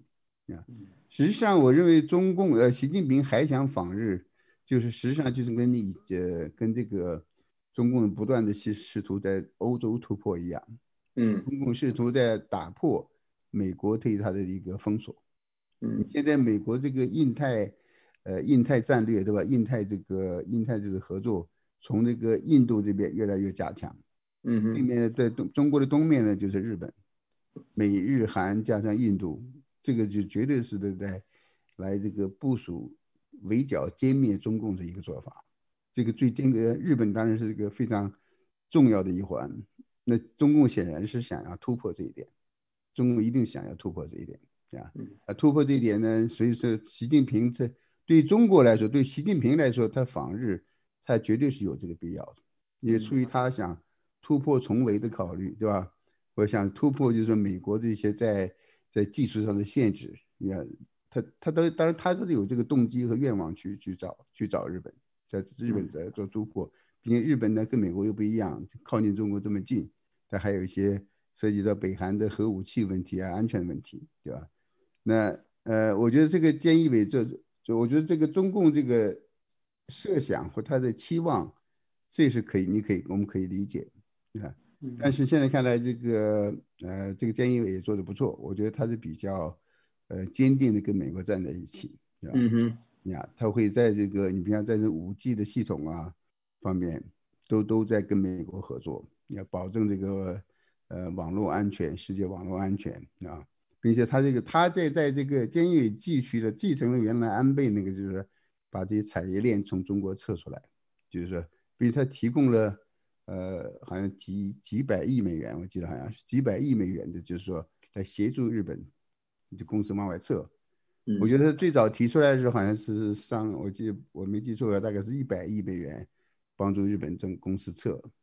结果忽然就是说，呃，越来越多的日本公司加入了这个，加入了这个计划，他们很快就把这个好像拓展了十倍，好像上千亿美元来加速日本那个撤出。所以这个这一点上，我觉得他做的非常好，就是说他要保护日本的经济成长，也也不忘记就是说。这个日本的安全保障的问题，因为当然呢，对中共来说呢，他当然他不可能现在就跟这个中共撕破脸皮，对吧？现在也没有，现在也不可能因为钓鱼岛就打钓鱼岛就打起来，对吧？呃，因为他还确实他有这个，他不光是在中共这个短程导弹的威胁这个范围内，也在北韩的这个威胁内，他跟美国的想法还是不会太一样，但是他现在能做到这一点就已经是非常好，就这这基本上是已经跟就是说。给中共一个耳光，就是说我不会跟你站在一起，就是当面一个耳光。你怎么看？不过你你讲这个事情哦，我是提到，因为这个美日这个安保条约，或者是美日现在同盟的这种基调是没变。菅义伟上来，我看是 follow 这个安倍的这个这个政策哈。那日本愿意担负美国在西太平洋的更多安全的这个防务的事情，包括他跟他跟美国之间呃同意推动所谓的这个我们。之前讨论过的所谓亚洲小北约，就是美日这个呃印还有澳啊澳大利亚之间，还有现在印太美国在西太平，你刚才提到的这个印太联盟在东边中国东边的一个很重要的一个安全防务的事情。那美国日本跟美国这块当然是没有问题。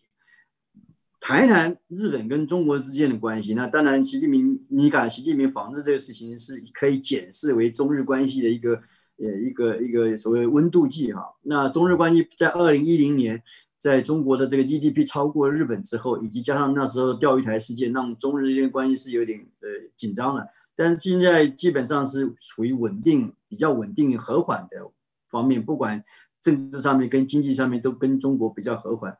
那你觉得像美日现在这个基调定了之后，你觉得日本未来像菅义伟，或者是说他明年任期到的时候？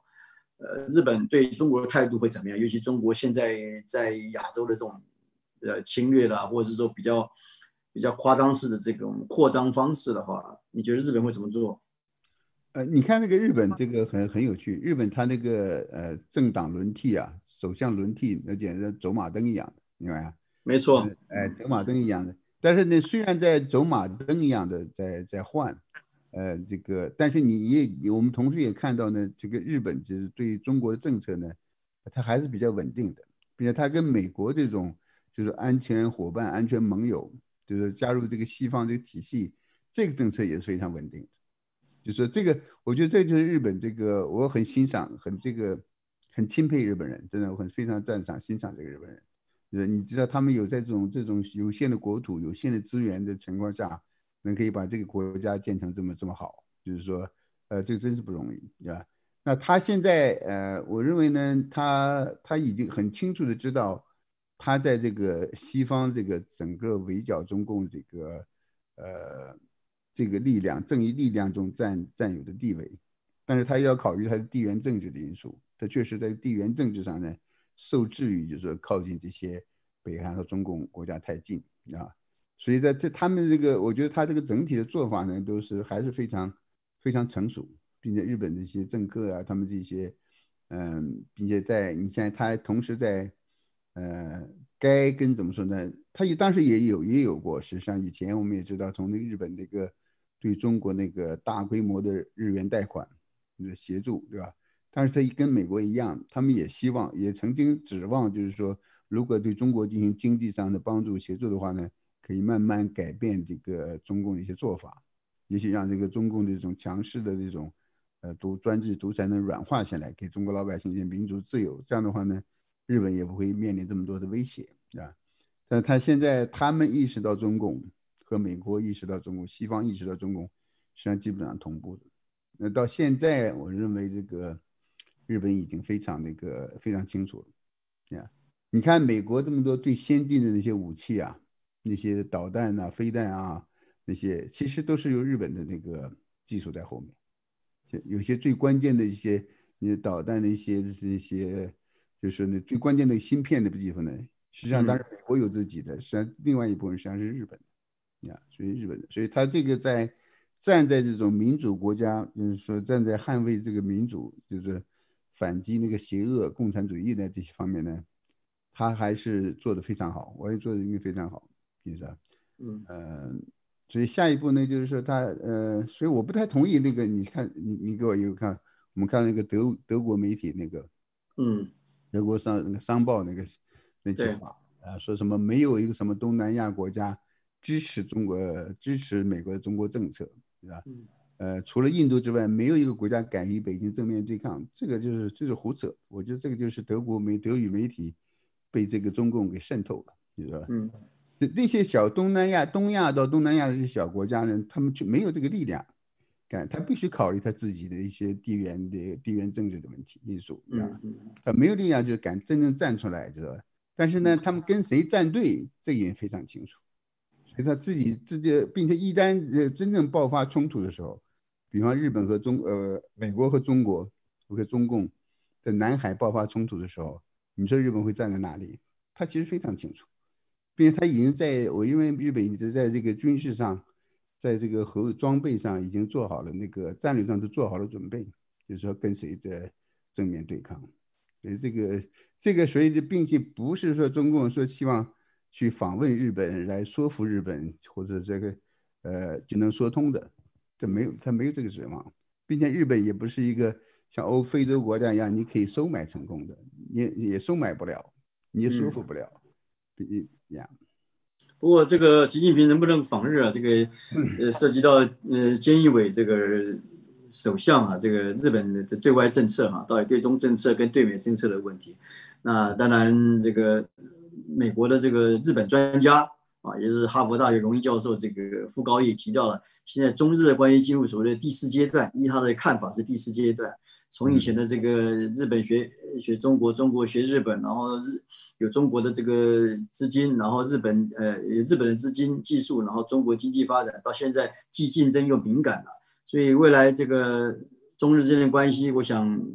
或者是中美的关系，或者中或者是美日的关系啊，三角关系也都是很复杂的哈。这个我们可以未来再有时间再讨论一下。尤其如果习近平到底能不能够访问日本，这是一个呃可以观察日本的对美国对中国政策的一个看法。接下来利用你时间谈一谈这个，在美中全面对抗的这段时间之之下呢，军方很奇怪，双边的军方，美国的军方跟。中国大陆军方在十月中的时候通过了一次电话，那这次电话，据了外电的报道，或据中国这个官方的说法，是为了是在管控一些所谓的风险。那在这样全面美中全面对抗的时候，军方有这样的管道能够来化解，但是并没有说内容到底是涉及哪方面。是是因为最近共军跟美军在南海的这种所谓的。呃，较劲或者在台海之间，你飞来之后，我马上飞来之间的这个事情，到底是怎么一回事，我们也不清楚。不过总是，毕竟美中之间在全面对抗当中，还有这样的一个沟通管道，我是觉得就某种程度是蛮好的。谢教授，你怎么样看看待这个事情？这个非常好，我觉得这个即使就是说，我觉得这是个美国人的一个传统，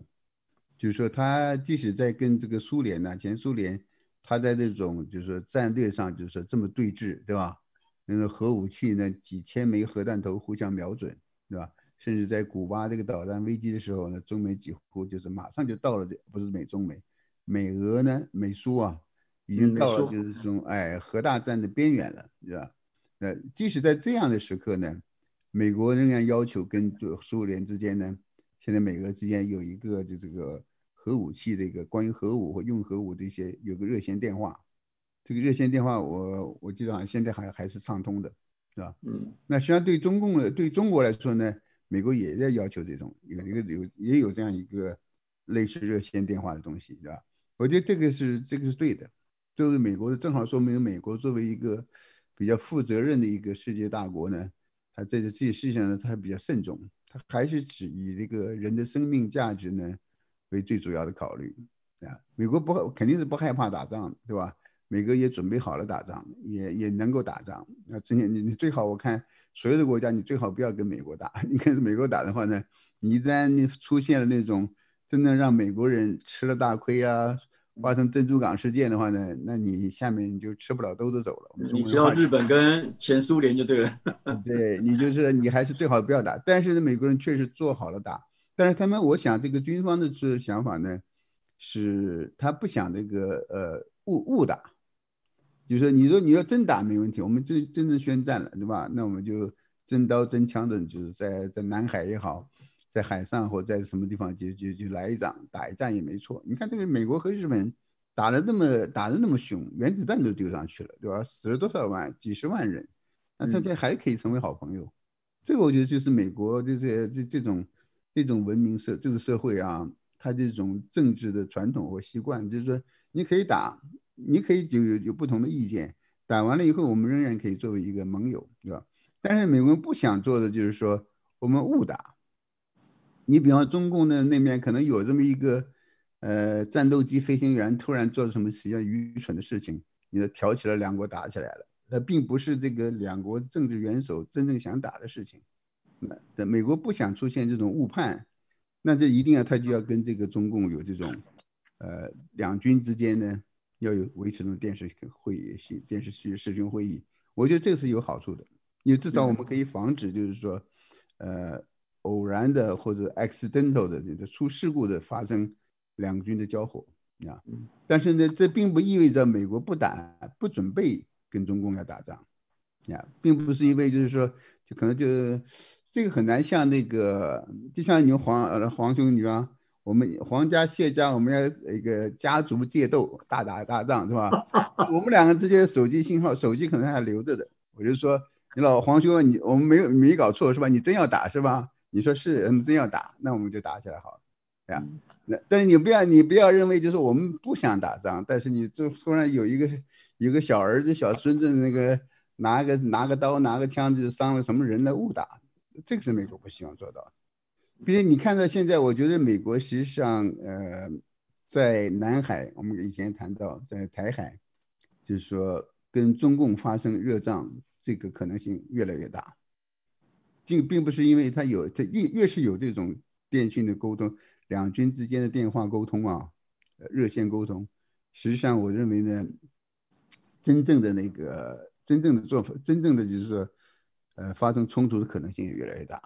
因为这个跟中共有关，因为是中共要改变它这个改变现状，对不对？你这所以美，所以你就台湾为什么我们支我支持台美国对台湾军售越来越多？原因很简单，因为这个中共那边它不断的那个增加它的军备，增加导弹瞄准瞄准台湾，增加它这些什么登陆艇啊，就是它在它不断的增加它这个军事的这个能力，它打破了这个平衡。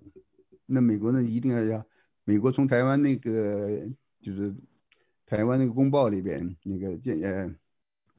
那台湾就是从上海公报里面的也也都提到这个事情嘛，就是说美国要给足够的军售来维持两方那个双方的那个军事力量的平衡，所以这个呃，所以说这个美国是一定在做，并且现在那个也做的越来越厉害，也完全是能够抗衡，我认为能完全能够抗衡这个中国大陆那边就是说可能发出来的力量。但是中共的同时，他要打破平衡，也在南海在打破平衡，啊，哎，我倒是一看到另外一个消息，现在还没没有确实，说是中共那个把南海上那个军事那个小岛屿岛屿上的一些军事设施啊，嗯，导弹啊，给悄悄给拆除了，嗯，以前我们不说十月惊喜里边有一个，就是说美国用无人机，呃，用无人机也好或者怎么样，就是说要强拆啊，呃，我也搞一个强拆，强拆那些中共在那个南海上那些东西，对吧？呃，但是呢，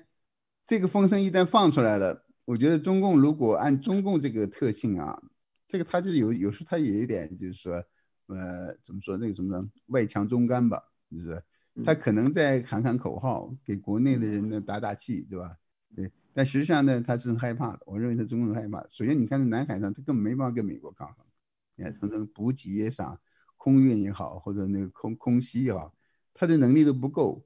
那你这个美国既然放出这种风声了，有人放出这个风声的话，中共为了怕丢面子，他自己悄悄的把它拆掉了，这个也是完全可能的，这样。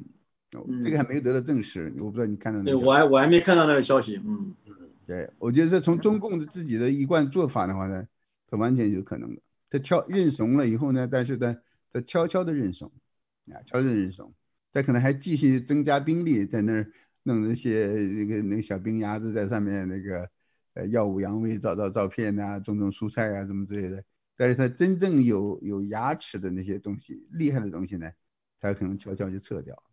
你撤掉的话呢，我想着美国的目的也达到了。是美国，你只要在南海，你不能够对这个航运、自由航行受到做出威胁的话呢，呃，他现在也不管你。但是这个中共这个威胁，这种威胁，呃，肯定是越来越大，并且美国呢，捍卫这个南海，呃，这个你说南海的航道也好，或者美国在这个这个地区的这种控制或力量的话呢，这个也呃也也是也是毋庸置疑，美国不会接受。美国一定会就是说对付这个挑战，这是肯定，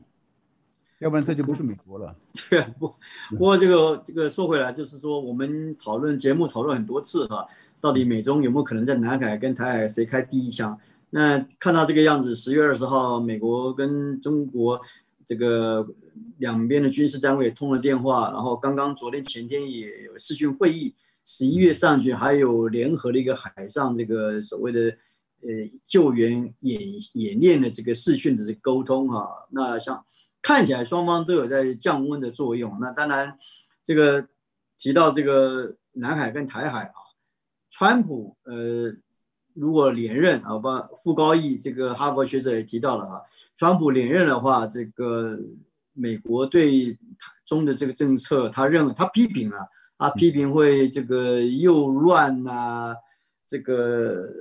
又硬了，那但是拜登如果当选的话，他认为会比较所谓的持续会硬，但是没有像那么乱。我不晓得傅高义这样子去评论有关于这个拜登跟川普以后在十一月三号之后的对中政策，呃，谢教授有什么看法？呃，这这个傅高义他这些这些中国通啊，你看就是川普基本上没用，对吧？白呃，你不管是波士顿，也从波士顿到到白宫到华盛顿，就是说，这些很多很多，美国有很多很多中国通啊。这些很多中国通，我接触过一些中国通。上次有一个，上次在那个埃默里埃默里大学有一个研讨会，就来了很多，就是说研究政治学的一些中国、美国的研究中国问题的那个呃中国政治经济的一些专家学者这些人啊。我们这个我也在其中啊，就是我们这个专家，我们这个学术界的人呢，我们有个弱点，啊，我们的弱点在什么呢？我们要研究这个东西的话呢，我们需要得到数据。就数据，你比如我研我也研究中国经济，对吧？那我们现在研究中国经济最大的困惑和包括研究中国政治这样，你拿不到数据，拿不到这第一手的资料，你拿不到第一手资料的话，你就不能够做你真正的研究。也不能够写论文发表，也不能出书，你就没法从你学术上就是没法进展。你这我可以说这个就是说，呃，研究任何那你要研究美国的话，你要研究美国经济、美国政治，我们从来没有这个问题。呃，你没有说你们收集不到数据的问题，第一手资料的问题。研究中国就有这个问题，对吧？研究中国有这个问题呢，那你这些人，你能不能够去中国访问，对吧？能不能够去跟中共的领导人见上面谈谈谈话谈谈话，对吧？能不能你亲手收集第一手的数据，这个就非常关键。你说你是个中国通，你从来没去过中国，你也不知道这个中国领导人脑子想的什么，没有这种呃个人的这接触，那他就就是个缺陷，那所以有这个有这个问题。我跟你说，那现在那个美国这些汉学界也好，学术界也好，研究中国政治经济的问题呢？这么这么多很多很多人，这些人对吧？你要想从从哈佛到到到到这个 乔治乔治汤这些，大家都有。嗯，还有纽约哥伦比亚，纽约对哥伦比亚这些，你他们他们都有这个问题，对吧？呃，而但是呢，你看现在川普用的呢，呃，他只是依赖于这个最多的就是那个 Pillsbury 白邦瑞，对吧？他也用过一些，嗯，嗯，但其他那些以前那些，我看他基本上都没用。那实际上以前那些人，那些中国通也好，他们提出来的建议呢，也呃或做法呢，实际上也都是民主党政府做的。而民主党政府做过的一些东西呢，我们也看到没有用。这个在克林顿到到奥巴马时期呢，这个民主党政府让中共壮大了，让中共越长越大，越越长越肥，啊，从经济上非常壮大，啊，有经济上壮大了以后呢，他就有有这个钱以后呢，他就可以去购买的一些军火，购买军事科技，或收买人来来偷取军事科技。对，实际上就是这些，就是你可以说这些。呃，中国通也好，或者民主党人士也好，不同，他们实际上呢放任让中共呢长得像长到现在这么强壮强大，那那那现在你要解决这些问题，解决这个中共的问题的话呢，你不可能再指指派同一同一批人。那傅高义说这个这点我同意，就是说，即使呃，假如啊，假如拜登上台的话呢，美国对中共这个总体的战略策略应该是不会变的。因为这个中共在确实在威胁美国，你任何人任何人当美国总统，你他马上他就你做你但一旦作为这个一国之主的时候，一国之主的话呢，你马上就会亲身的感受到这个来自中国的威胁，对吧？那但是他这个是两个人的做法，拜登和川普的做法显然是不一样。呃，拜登他说嘛，他上次第二次就上次这个最所谓最后一次那个竞选辩论的时候说的很清楚，他就是说呃。他会用什么？呃，我会跟中共接触，然后呢，让他遵守，让中共遵守国际惯例、国际准则。嗯，说这说梦话一样，听痴人说梦一样的。对，中共就是因为他不遵守惯例，也不遵接受这个西方制定的一些规则，对吧？所以才走到了今天。嗯，所以他这个你就感觉到他这种这个这个政治上的幼稚，他还是对中共的认识不清啊。现在川普内阁呢，川普政府现在对中共，我觉得认识已经非常非常清楚了，并且他对这些从瘟疫到到科技偷窃科技，到对对美国的制造业的伤害，这一切呢，现在变得越来越清楚。所以他现，所以他现在清楚了以后呢，他就知道他不需要跟习近平见面，也不要跟中共再谈了。那下一步呢，你看着吧，他这个位位置坐稳了，下下面四年呢，就是他会放手放手大干，放手一搏的那个。的机会时间就来了。现在最我最担心的问题就是说，会不会再来再搞一个国会众议院对他的处处进行掣肘？你知道在拖他的后腿。你在政协大战的时候，你在这个时候有人把你胳膊给拽住了，或者腿给拽住了，你这就很麻烦，你就没办法再打仗。OK，我们这个当然，你刚才提到这个很多智库的问题嘛，当然傅高义也讲了哈。傅高义也请教了，因为我们刚才涉及到拜登跟川普未来谁当选之后的对台对中政策啊，基本上这个强硬政策没有问题，包括美国前呃驻台的这个在台的协会理事理事主席普瑞泽等华府的智库啊，对台湾还很了解的，他们都认为不管谁当选的这一次美国总统大选，国会两党或是美国的这个对中政策应该是不会改变的，但是他对他对日他对台湾。的做法应该也不会改变，也就是说，现在川普政府对台湾的这种关系升温啊，应该也不会改变，只是在做法上面可能两党民主共和两党有所不同。不过傅高义提到这个，我想请教谢教授，就他提到说两岸的问题啊，依照习近平现在的做法，不太可能到下一代，也就是说，中共处理台湾的问题是有它的急迫性的，他的言下之意应该是这样，这是我解读，我不晓得呃正不正确。那当然，嗯，未来。美国对中国的政策态度立场会怎么样？会会关系到美国在处理台湾到底要不要真心或是真力的去防卫台湾？尤其美国现在对台湾的整体战略，对台海的整体战略还是战略模糊。当美国没有明确的说他要保卫台湾的时候，他基本上都是还是战略模糊。除非他讲，这是华府智库很多学者的看法。所以在华府智库里面，对两岸对台湾。的了解的那些智库的学者也在讨论，到底美国要不要改变它的战略模糊到战略清晰？我想我们跟谢教授也提过，你可不可以谈从副高一谈两岸问题？不可能，习近平不可能让搁到下一代，以及华府对台湾对台海在战略模糊跟战略清晰当中一直还在摇摆，你的看法怎么样？对，这这个很很关键的、很好的、很好的话题，很很关键的问题。首先呢，我认为这个呃，中共他实际上给自己背上了个包袱，你知道啊，在这个时候是中共第一代领导人呢，他就就是这样做的，因为他们有一个遗憾，就是他在所谓的解放全中国的时候呢，没解放完，啊，呃，所以呢，他留下了一个台湾，对吧？留下了台湾呢，本来想解放是放跟这个。想解放台湾或想处理台湾问题呢？后来又因为他中共很愚蠢的加入了韩战，那加入韩战以后呢，这个台湾就彻底的没法解决，对他他们看来就是没法解决这个问题啊。所以他但是呢，他又又因为你如果台湾不解决，并且尤其还有这个金门马祖啊，金门马祖这个，我我最早开始关注呃呃关注这个金门马祖这个问题的时候呢。我们在中国大陆的人们，呃，不太不太很多人，大部分人很多人不知道这个金门马祖到底在哪儿，它离台湾有多近和离大陆有多近有多远？离台湾有多远？离大陆有多近？很多人不知道，知道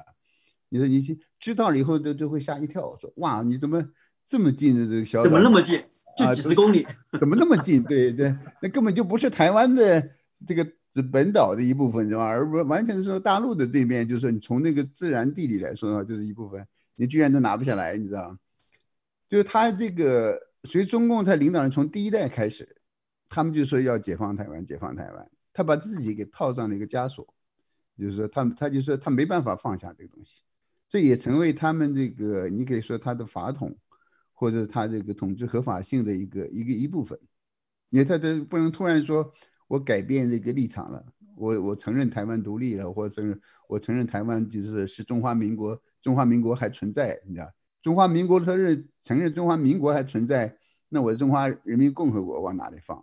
啊？所以他这个东西呢，已经一代一代传下来呢，到现在已经成为就是说中共一个政治上的一个包袱，一直有这个包袱。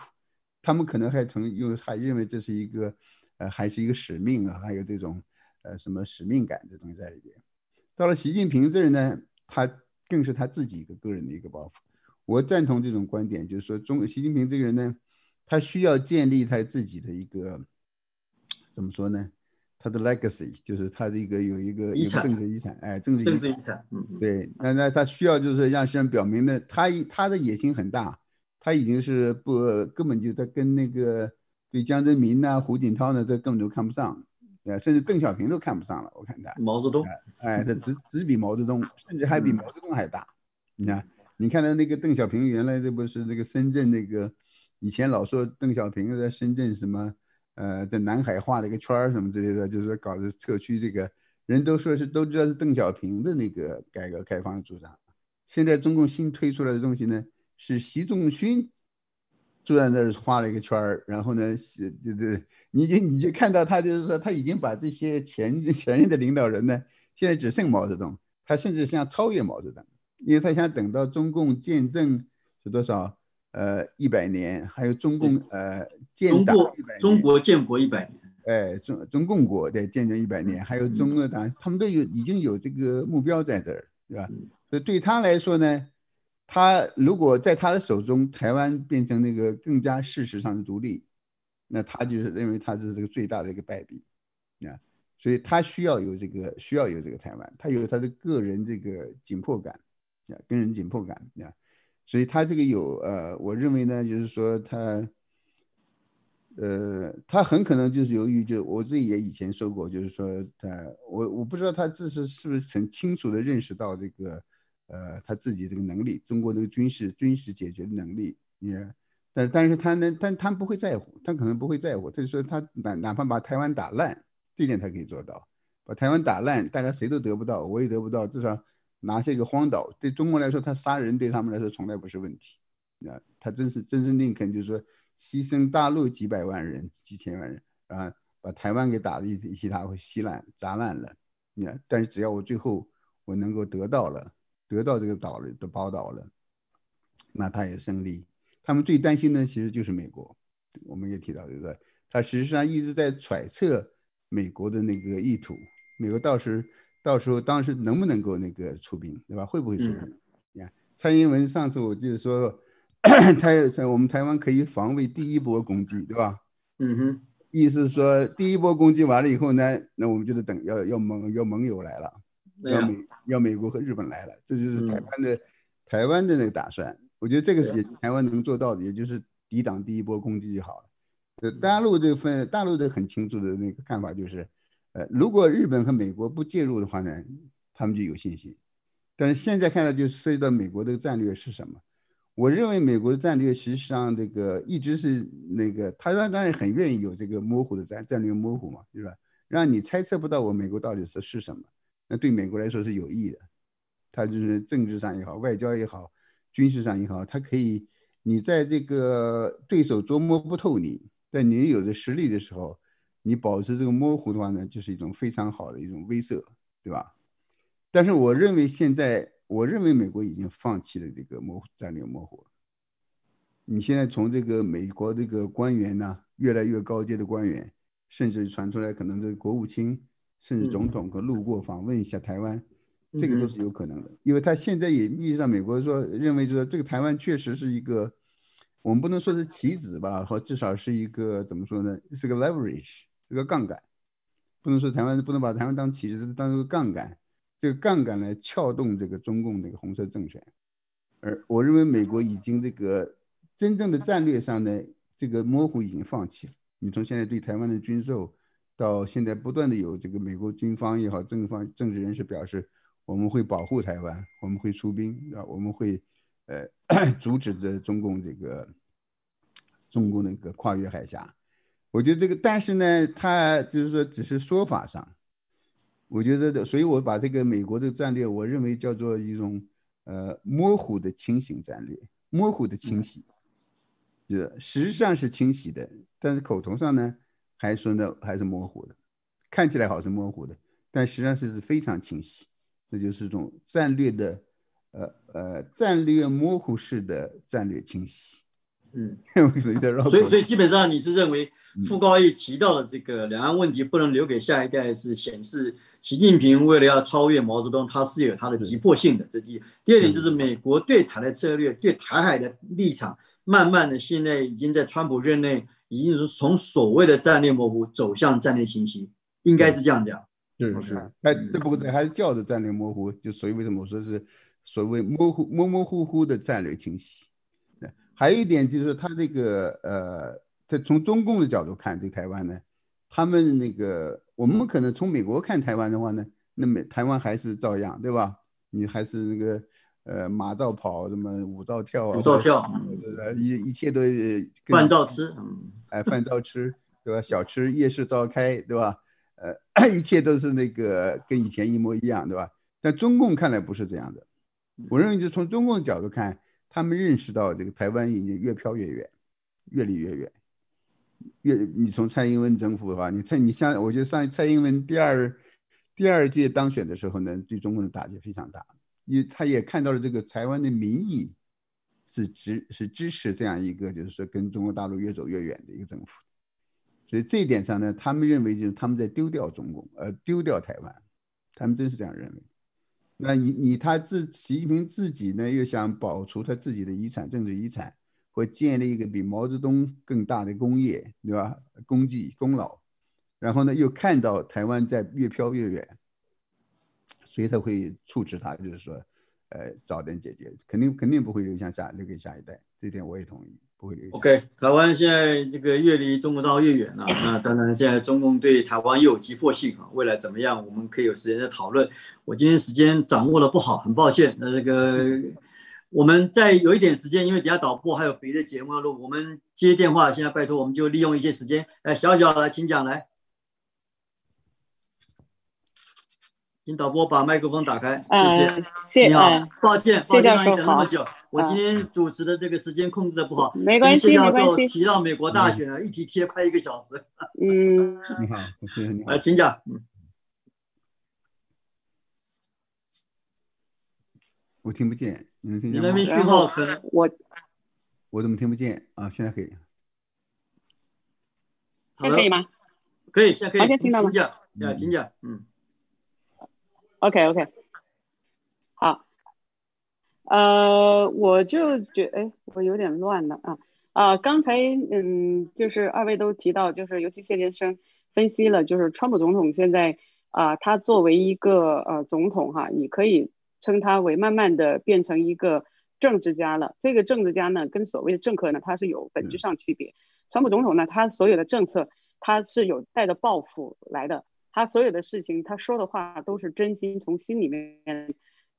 呃，说出来，而且他也不会有那种前后矛盾，呃，逻辑不能自洽的这种呃状况，证证明他的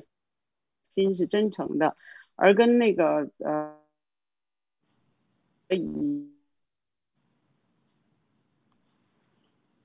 我听不见了，他们后来你是那个魏说的，听见吗？你那，你那里讯号好像有一点不太稳定，所以。讲话有点断断续续，如果你是不是啊？是不是换个换个地方，换个家里的一个地方可能会好一点？哎，没关系，我们等你，没关系。现在可以吗？现在可以吗？可以，现在听得到了。啊，呃，也就是说呢，呃，这些所谓的政客，这些左派啊，这个什么拜登之流啊，还有他现在这个副总统那个候选人，他们这些人都说出来的话都不是真心的，所以他们经常会忘了自己之前撒的什么谎，然后呢，呃。然后呢，就前后矛盾，呃，逻辑不能自洽。然后呢，经常呢，呃，回避一些问题，来顾左右而言他。这个就是他们虚伪和丑陋的一面。这个就是跟川普总统的真诚的心，这个是有呃本质上的区别。呃，另外一个呢，呃，刚才黄先生呢，就是说，呃，为什么川普总统他呃总是会说呃要把这个呃希拉里啊，现在又说要把这个拜登要送进监狱，不能这么说。但是我觉得呢，这个也是逼出来的，因为川普总统他没有说话的渠道，尤其是最近出了这个拜登门以后，所有的呃主流媒体都都静音封号，啊删帖，这个就是特别熟悉，我们特别熟悉的在在中国的这种专制独裁社会所出现的。那么如果现在呃这种状况，川普总统他还不。呃，大声疾呼的话，我们所有人就根本听不到真实的声音，所以这个呃不是川普总统的错，是这个环境逼的。你看通俄门的时候，哈，川普总统还没上任呢，还没就职呢，就他们就已经开始准备呃呃弹劾了。那个时候媒体都是铺天盖地的啊，这个现在美国已经到了一个呃多么多么令人焦虑、多么恶劣的这么一个环境。这是一个问题，所以呢，我觉得呢，呃，像黄黄先生这样的呢，也是有相当一定的代表性的。他们都觉得，哎，川普总统不能这么说，不能这么说。同学，拜托，现在不这么说来不及了。美国马美国马上就要面临到了那种掉进悬崖的地步了，对吧？呃，我觉得川普总统是你就是不喜欢他个人的 personality 或者他说话的方式没关系，我们见最重要他说的是不是真的。他也许有的事情会夸大一点，但是他并没有犯原则性错误。我们现在需要的总统是要把这个情况改变过来，所以不要过分纠结一些细节哈，影响我们对主流问题的一些看法。然后也是因为长期的这个政治正确吧，导致我们很多人已经被改变了这个思维方式，包括黄先生，您是一个呃，您自认为哈，我我们也认同，就是咱们都觉得我们心是正的，我们心是善良的，但是我们在很大程度上已经被污染了，这个语言环境也好，包括改变了我们的思维方式，这个是很可怕、很可怕的。是啊，另外呢，还有一个呃。啊，最后就是有的人呢，现在就是之前吧，民主党失呃失败以后呢，他们疯狂反扑，又是通俄门，又是给川普总统捏造这个。当时呢，很多人还没有看透这个 deep state 的这个问题，呃，但是现在呢，已经非常非常的明显了。所有这些民主党也好，他们这个都是前台的木偶，其实后面有有这个他们最更大的这个金主和他的这个建制派里面的这个 deep state 在操纵。所以呢，现在如果说川普总统再连任的话，就不是动他们奶酪的问题了，是要他们的命啊！现在是要命的问题。所以你看他们现在这种疯狂的撕咬啊，那个那个简直到了无以复加的地步了。你看现在那个那个南希 Nancy Pelosi 还公然说，呃，如果川普总统败选不出这个呃白宫的话，就要动用军队。我就觉得这个一个主口口声声哈，满口这个什么人权啊至上呃法治呃，然后带头还去批判这个呃中国政府说呃用武力打压这个天安门学生的人，为什么他作为一个立法机关一个呃立那个众议院的议长，为什么他要放弃法律手段，然后公然的就就要就要去动用这个军队？再说了，现在三军统帅是谁呀？你你你凭什么动用军队呀？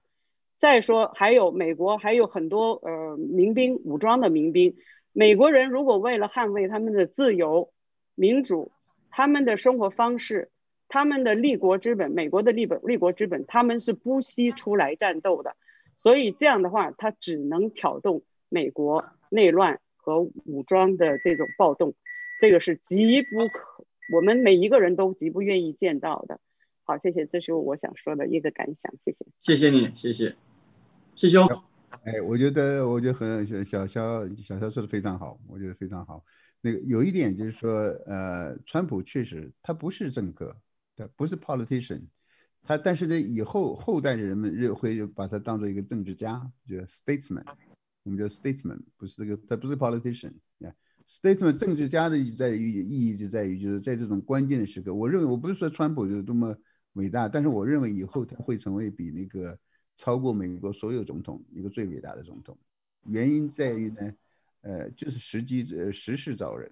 有美美国有这么一个最危机的时刻，在这个时候出现一个力挽狂澜的人，在整个人类这个道德往下滑的时候，一个出现一个人呢，他就是说来试图阻止这个，让美国回归更加传统保守主义的正统的那这个路，呃，这个人他就是最伟大的。这个神都会把这个人定成一个最伟大的人，是这个，这是这一点。呃，还有另外一点，刚才他也提到很早，就是认为这个，你看这个主流媒体啊，包括现在社交媒体，这个社交媒体这件事情呢，现在这个参议院呃国会已经在跟他们在听证，对吧？呃，要谈到这个二三零这个呃二三零这个，呃，我觉得是现在是时候了，你必须的必须得搞清楚，因为你原来说过你就是个平台，对不对？你作为互联网，你是个平台，提供双方的那个呃双方的那些观点，不同的观点。当然，你可以把那种呃黄色的东西啊，或者是那个威胁的武力、暴力的东西，你把那些去掉，这是没问题的，对吧？但是你不能把政治观点给给去掉、给消音，因为你要想享受你作为一个科技的平台，而不是把它作为媒体，你是有这个二三零条款是。给你的就是说以保护，就是你不受这些这些那个法律那个法律的起诉的话呢，你你必须做的公正。我们现在看他已经做不到公正。你不管从推特到那个 YouTube 到脸书，这个你他做的还有到嗯到谷歌，谷歌对他做的已经非常非常非常的那个过过分。像这次就这次这个关于拜登这个拜登这个电油门电脑门这个事情，就是就是那那现在。所以现在那个，我觉得川国会是做的非常好，就是说，就是就是把这个二三零条款拿出来威胁他，不是威胁他，就是警告他，你到底想想做什么？你到底想做什么？你要做，你要说你要是想成为一种这个呃 super pack 政治活动那个团体的话呢，支持某一方的话呢，那我们就取消你那个东西。你如果不想这样做，那你你不想承担法律责任的话呢？那你必须保持，你必须保持中立。我一一定要允许，呃，开放。你看你现在上推特的时候，你就知道这个推特。他今天今天我发现我上推特的时候，我想转点发一个东西，他他不让我点发，不让我马上转，就是你你再看一看。我说这这也这也 fair，我可以看一看，对吧？他说你他对你这个转发或者这种，尤其转发某一派的力量呢，他们现在已经做出各种各样限制，甚至我们也知道这个。呃，不允许某些事情、某些反对这个反对拜登的东西出现，这个他们已经走过分了。我我是觉得这帮家伙很狡猾了，他们可能会，呃，他们肯定是要求要求继续保留这个二三零条款下的这个免责这个东西。那可能他们会有所放松或那个呃有所就是说不再不再限制，对吧？但是这个过了这个选举以后。我们其实刚才前面也提到，过了选举以后，过去有些美美国人会照常上班、学习、呃工作啊，一切都恢恢复照旧。那些口口声声说川普一旦当选要去加拿大的人呢，和去墨西哥的人呢，他肯定不会去的。所以大家就好好待着就好了。没问题的。那个都是选举太入戏讲的话了。都是讲的话，对。OK，我们时间不多，那个第一来，请讲，你把握时间，因为我们时间不多，很不好意思，来，请讲。哎，赵平勋好啊，你谢教授好啊，那是个 今天又见了啊，很快啊，就是第一，我觉得刚刚这个谢教授说的挺对的，二三零条款，美国是个民主国家，如果谁呃在这个时候去干涉什么，肯定会有人出来反对，那出来反对，这正好就是一个民主的体验体体现，对不对？呃，那如果一派的声音被无限打压，第二派的声音出不来，之前二零一六年的时候。就已经发生过这种事情，就这个希拉里的电邮门在这个各各大社交媒体上被疯狂转发的时候，这个事情已经到早造成了美国一定程度的这个选举，因为我们并不知道现在这个电邮门这个事情到底是真的是假的，我们不能凭凭空而论，就是说，在一个没有被调查、没有被证实的消息，在这个无限转发造造成某一派或者是某些人试图在这里面干预选举，我觉得这个。呃，而且周一的时候跟呃恒清也聊过这个话题，就是说这个目前这个美国社交媒体在这个问题上的一些冷处理，是不是还有这个接下来对 Facebook 出台的那个要要要控制那个呃大选的时候的这个可能的舆论激荡，这个是不是一个正确的事情？呃，我我自己也认为这是一个正确的事情，在这个紧要关头，我们首先要做的其实是。弥合这个种族之间或者社会之间的问题，而不是说让谁赢。美国是一个群体，我觉得刚刚那位熟悉的声音的女士啊，说的很有趣儿，就是这个美国这个这个这个 Nancy Pelosi 说的这个动用军队啊，人家说的是，如果败选以后，那败选以后你还是不是总统啊？三军统帅还是不是你了？军队效忠的是谁？效忠的是呃总统，不是党主席，对吧？那您要是这么认为，那可能您确实有点这个。这个这个从这个中共过来的这种感觉啊，对吧？然后第二呢，就是您说这个马维莎的事儿，这个马维莎也是啊。美国要是这个打起来，这个冲突再深深的话，确实有可能，因为现在已经百分之四十人认为美国在内战边缘了。那这个马维马，您刚刚那个话的意思啊，听起来在鼓动美国马维莎出来为他们而战啊，这不是挑起美国内部战争嘛，对吧？然后另外就是昨天我也说了这个。美国这个川普这个大嘴巴呀，确实有的时候不经思考出很多问题。比如说昨天那个墨密西根州我提到的那个，就是说那个只给你们女性呃妇女的老公找工作的这个事儿啊，对吧？呃很有意思，对吧？尤其在女性话题里面，对吧？呃，女性平权已经多少年了，现在还有川普还会上来这么说，这都是令人啊、呃、很很讶异的事情啊。好，就这些，谢谢，谢谢你，谢谢。那个那个，我想回答那个小小张和 DZ 那个小张，他那个川普，川普不是那个什么嘛？川普他那个在女性选民中的得票，上一次是不如希拉里的，就是一一般认为是女性呃选民的更多的投向支持民主党嘛。那现在呢，川普实际上是像跟向这些女性选民呢喊话，说那个让他们投他一票。他说呢，我在给你们的老公找工作，因为他这个。给你老公帮你老公找工作了，那女士应该比较高兴的，是应该是这个意思，我觉得对，呃，呀，其他我都觉得他说很好，对我也很赞同。对，他的意思应该是这样。的，接下来那个好像有位林先 Mark 林的，来请讲。Hello，你麦克风打开吗？Hello，听不见。哦。那个是不是林先生？Mark 林，你在线上吗？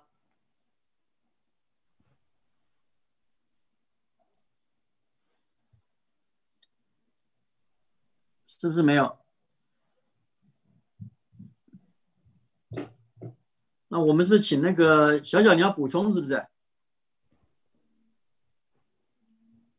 ？OK，Mark，哎，请讲来，我们听不到你声音耶。对他打简讯过来，我刚才看到这个荧幕上面提到说他已经讲话，但是我们根本听不到他的声音。听不到，对。嗯，对，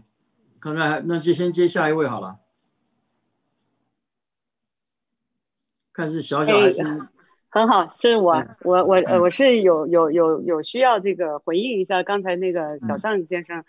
呃，对，实际上 Nancy Pelosi 她的这个话呢，呃，我希望他说的是，在如果采取了所有的法律啊，这个呃手段，所有的法律程序啊，都最后决定这个选举结果的话呢，如果说川普总统不服从不服从这种法律最后的终审啊，那么如果动用其他的呃有效的方法。那么这在这个前提下呢，这是可以接受的。但是呢，如果说呃，在他作为这个立立法院，就是这个这个这个众议院的人呢，都应该跟民众所有的人都，我们都应该首先遵循这种法律程序，这个才是他的正道，而不应该上来就说的。因为现现在这个他的这个话在 Twitter 里面非常的广泛的流传，所以引起很多人的反感。所以呢。我觉得这个作为你作为这个众议院的这个，而且他的从政也是几十年，一生人都在这个从事这种政治，啊，说话应该更加严谨，而不应该啊给人造成一种这么个印象，呃，那么呃，所以呢，呃，不是说因为现在很很大的他已经没有还没结果没出来，民主党就已经造舆论说说呃川普会会败选。但是实际上，他我的我的这个阴谋论哈，我觉得他们就是已经知道这个败选结果，他们会败诉，然后他们故意的说，呃，川普总统不会呃认承认这个结果。那么我有一个阴谋论的一个假设，如果说确实这个结果发生了，那么里头有没有造假呢？有没有必要通过这个法律的程序的调查呢？这个绝对是有的。所以呢，咱们就是说，作为一个民主呃社会的一个成熟的成年人呢，应该有这样的思维，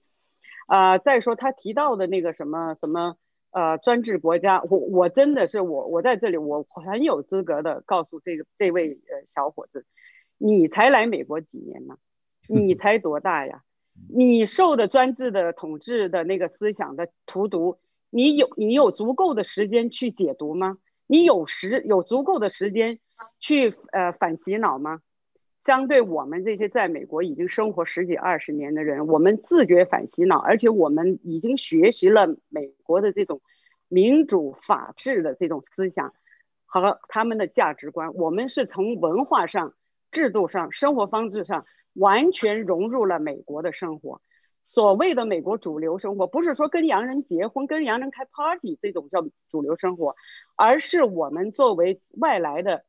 不同文化生环境生长的人到了美国，我们是拥抱美国的价值观，拥抱美国的呃这个这个文化，这样才叫做融入美国的主流社会。这是我的一一个看法。我也相就是劝这些刚到美国几年的，不是说你没有错，其实我们也是这么过来的。坦白说，所以呢，您呢最好多听听听一听。您可以提问，我也觉得你还可以再回应我现在的说法，因为只有讨论，只有发表不同的意见，我们才知道对方在想什么，我们才可以从中去探讨一个更接近事实、更正确、更符合普世价值的这么一个结论，还来帮助我们认识这个世界。好，谢谢。好，谢谢你。那个，那个小肖先生，对嗯，我就跟那个我，我想小肖那个女士可能也来美国有很久了，二十年、二一二十年了，这都很好。对我算我来了三十年了，我可以告诉大家一个故事，就是我刚来美国那个，呃，后来不是住在一个公寓里边，我们四个留学生，男留学生呢，租租用一个公寓，合租一个公寓。呃，我那个同事室友呢是台台湾来的。呃，台大电机系的毕业生啊，第一天晚上我们相遇，第一天晚上我们一直嘴呃吵架，呃争论争论到第二天早晨大概两三点钟，是争论什么呢？台湾那个抗日抗日战争的问题，韩战的问题，就说因为他给我提供的消息颠覆了我所有的认知，我那个时候那所有知道的东西都是从中国大中共中共那得来的，那后来我才知道我的全部是错的。说全部是错的，然后后来我还跟他那个在有一次，呃，写的文章里跟他道歉，居然就被他看见了，然后来还给我打电话过来。我觉得我们确实需要一段时间，我想至少需要十年，你才能真正了解美国，了解这种这个国家的价值观，这些这个美这个政府这个人民这个文化的的好处在哪里，并且你可以用这个融会双方的那个来来看。这是这个点。还有一点，你说到这个 Nancy Pelosi，我对他这个最近讲的另外一句话感到很失望。他这个不是军队这个啊，他还还说了一句，就是说，呃，不管这个呃，他说拜登会呃宣誓当上下一任美国总统，不管这个选举的结果会什么样。我觉得这个话是非常扎劲，就这个实际上是作为一个美国国会的议长讲出这样的话来的，我觉得他应该人就应该辞职，就是说，这个不是你能这样讲出来话。你不管这个选举结果怎么样，你这不是在反民主吗？对不对？我觉得这是我对这个蛮失望的一件事情。好，谢谢谢教授，因为我们时间已呃，那个万达，你你现在换你好不好？但是请你在一分钟之内好不好？不好意思，因为我们刚才导播已经跟我那，他等一下马上要接节目，来，请讲，万达先生。这个不好意思，因为我们等一下呃，那就这样吧，那我就不讲了，我就放。没关系，你讲，你讲没关系，你讲。感觉你说你快一点讲好了，对。嗯，没关系。这个那就这样吧。这个呃，那个刚刚谢老师说的是一个，嗯，美国这个高层啊，不太用这个中国的问题专家啊。因为有一些困难，这个中国的问题专家呢也是有有一些困难，因为要的这些数据啊、什么资料啊比较困难。因为中那中国的这个情况，它是一个黑暗的一个状态，不会比这个美国的什么都是透明。我我倒是我同意这个观点，是呃。索要一些这个机密的这些他们所谓的机密的这个资料信息是比较困难，但是很多东西已经透明了，已经知道了。这这些东西其实上对美国来说，要应用这些东西已经足够了，不摧毁中共已经足够了，就是需要一个中国问题专家去理解，深刻的去理解这些东西就足够了。比如说。现在这个，呃，川普说我要你负责任，这个，呃，这个疫情我要你负责任，那怎么要负责任啊？那很简单，是吧？你这个，呃，老习是吧？你这是故意，故意隐瞒情况的。你看现在这个方斌，呃，那个陈秋实人在哪？你告诉我他们人在哪？这是方斌、陈秋实还有其他人被抓，这是全天下都知道的这些资料，用不着，你就这样去呃呃要那个习近平就赔钱就行。我就根据这两个人，你你为什么把这两个人抓起来？他们是通报人、通告人，你怎么把他抓起来？通告你抓了通告人，你还说你没有隐瞒疫情，什么意思啊？对不对？这些东西我完完全可以，已经足够了。就是真的是问题专家是中国的问题专家是可以用，像我们这些人要如果是进入美国的高层，那那不得了，那个大地震，嗯贩卖。OK，谢谢你，哎，谢谢，嗯，谢谢老师要不要讲几句？还是你看，我觉得对，但是呢，就是说他是因为那些学者呢，主要算是他主要是在说。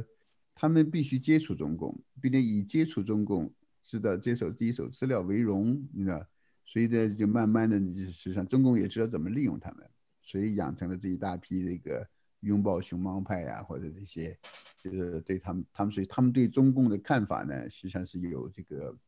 有一些偏见的，或者有一些有些 bias 在里边的，有些 bias，有些先入为主的立场，对，有些那个他们必须考，他们必须考虑这一点。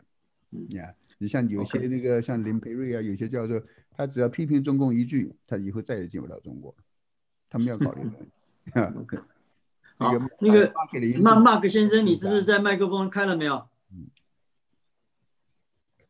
你麦克风开了没有？开的话，我我们哎喂哎，可以吗？可以了，来赶快赶快讲，因为我们 OK OK 啊，谢谢谢谢啊，抱歉来请讲来，嗯，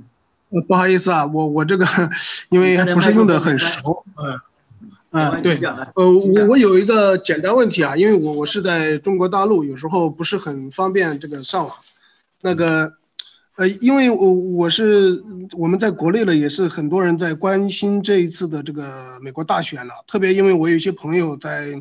呃，以前就是讲到在台湾上一次大选的时候，就是因为一句口号，他们说选了这个国民党，台湾变香港。然后后来好像这个民进党才被选上。我我这一次感觉这个美国的大选好像川普也是类似啊，因为可能我们了解的都是这个华人圈的这些资讯呢，就是从这些传递出来的信息，还是用这样的一种，呃方式在进行这种大选。但是我就不知道这，因为像这样的一种嗯。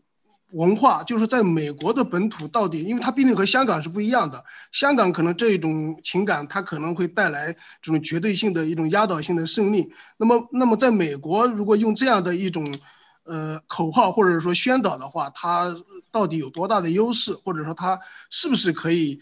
呃，这是这是第一啊。第二个问题，我想简单一点，因为刚才你们说时间已经来不及了。那么就说我的一问题就是，它到底这只是想。的一个口号，还是说他真正的会呃对中国呃或者说造成一种制裁？第二点，第二点就是说，如果他要造成这种制裁的话，或者我我我们就想了解，他仅仅是说，我我好像看川普有时候讲的说让让这个中国来赔偿，那他主要是要求的是一种经济上的赔偿，还是说要会对这个体制来发生一个根本性的改变？因为我们知道这个。这个你如果不被对对这个体制改变的话，他赔钱，他可以把所有的钱都赔了，只要他的这个这个地位他能够保持住，他也不会不在乎的，他无非是牺牲呃国民的利益。那我们就是说，作为华人来对这个，好像是不是？我觉得是不是这种期盼太大了？再加上看到现在一直在宣传的美国的这样的一种民主，但是看到什么样的这种媒体啊，好像很多的东西这样的一个都去没有报道啊，或者怎么样一些负面的。说句心里话，我们就确实很失望，就觉得这样的一个，呃，这个民主的一个代表性，那么他到底他呃会怎么会走到今天啊？就他可能我这个问题很多，但是我归归纳起来就这两点。第一个，我就觉得这个川普他到底这个他他用的这些到底是一种宣传口号，还是说真正的要对中国采取制裁？第二点就是说他这个制裁会不会对这个体制有一个根本的影响？好吧，我就简单就说这里吧。嗯，好，谢谢你。谢教授，要不要稍微点评一下？没有，那我我我教我是教广告学的啊，我也研究广告学啊。就是说，他那个上次他刚才这个呃林先生提到这个呃选股选举什么投票投给国民党，台湾变香港，那个是那年选举中那个非常最有我看到最有效的一个广告措辞，那个说的非常好。我觉得这个实际上可能打动了很多很多人。那其实在美国呢，呃，我们也可以用个类似的广告词。你如果投给拜登和卡马拉，美国就会变成委内瑞拉，呀，这是个国家社会主义路，对吧？这是 OK。你回到这个先生朋友林先生提到这个另外一个问题，没，我认为川普是真实的，他为什么现在不愿意见习近平呢？不愿意跟他谈呢？你看，并且他对第一阶段贸易协议，中共再怎么买农农产品，他也不在乎了，没意义了，啊，因为他知道这个都是小意思，piece of cake，小。小小东西了，peanuts 了，对川普来说，你买个几百亿、几百亿。美国因为这个瘟疫，现在多花的钱，这个美国国债增长，现在已经增长了至少有三四万亿。现在美国国债是二十三万、二十四万亿，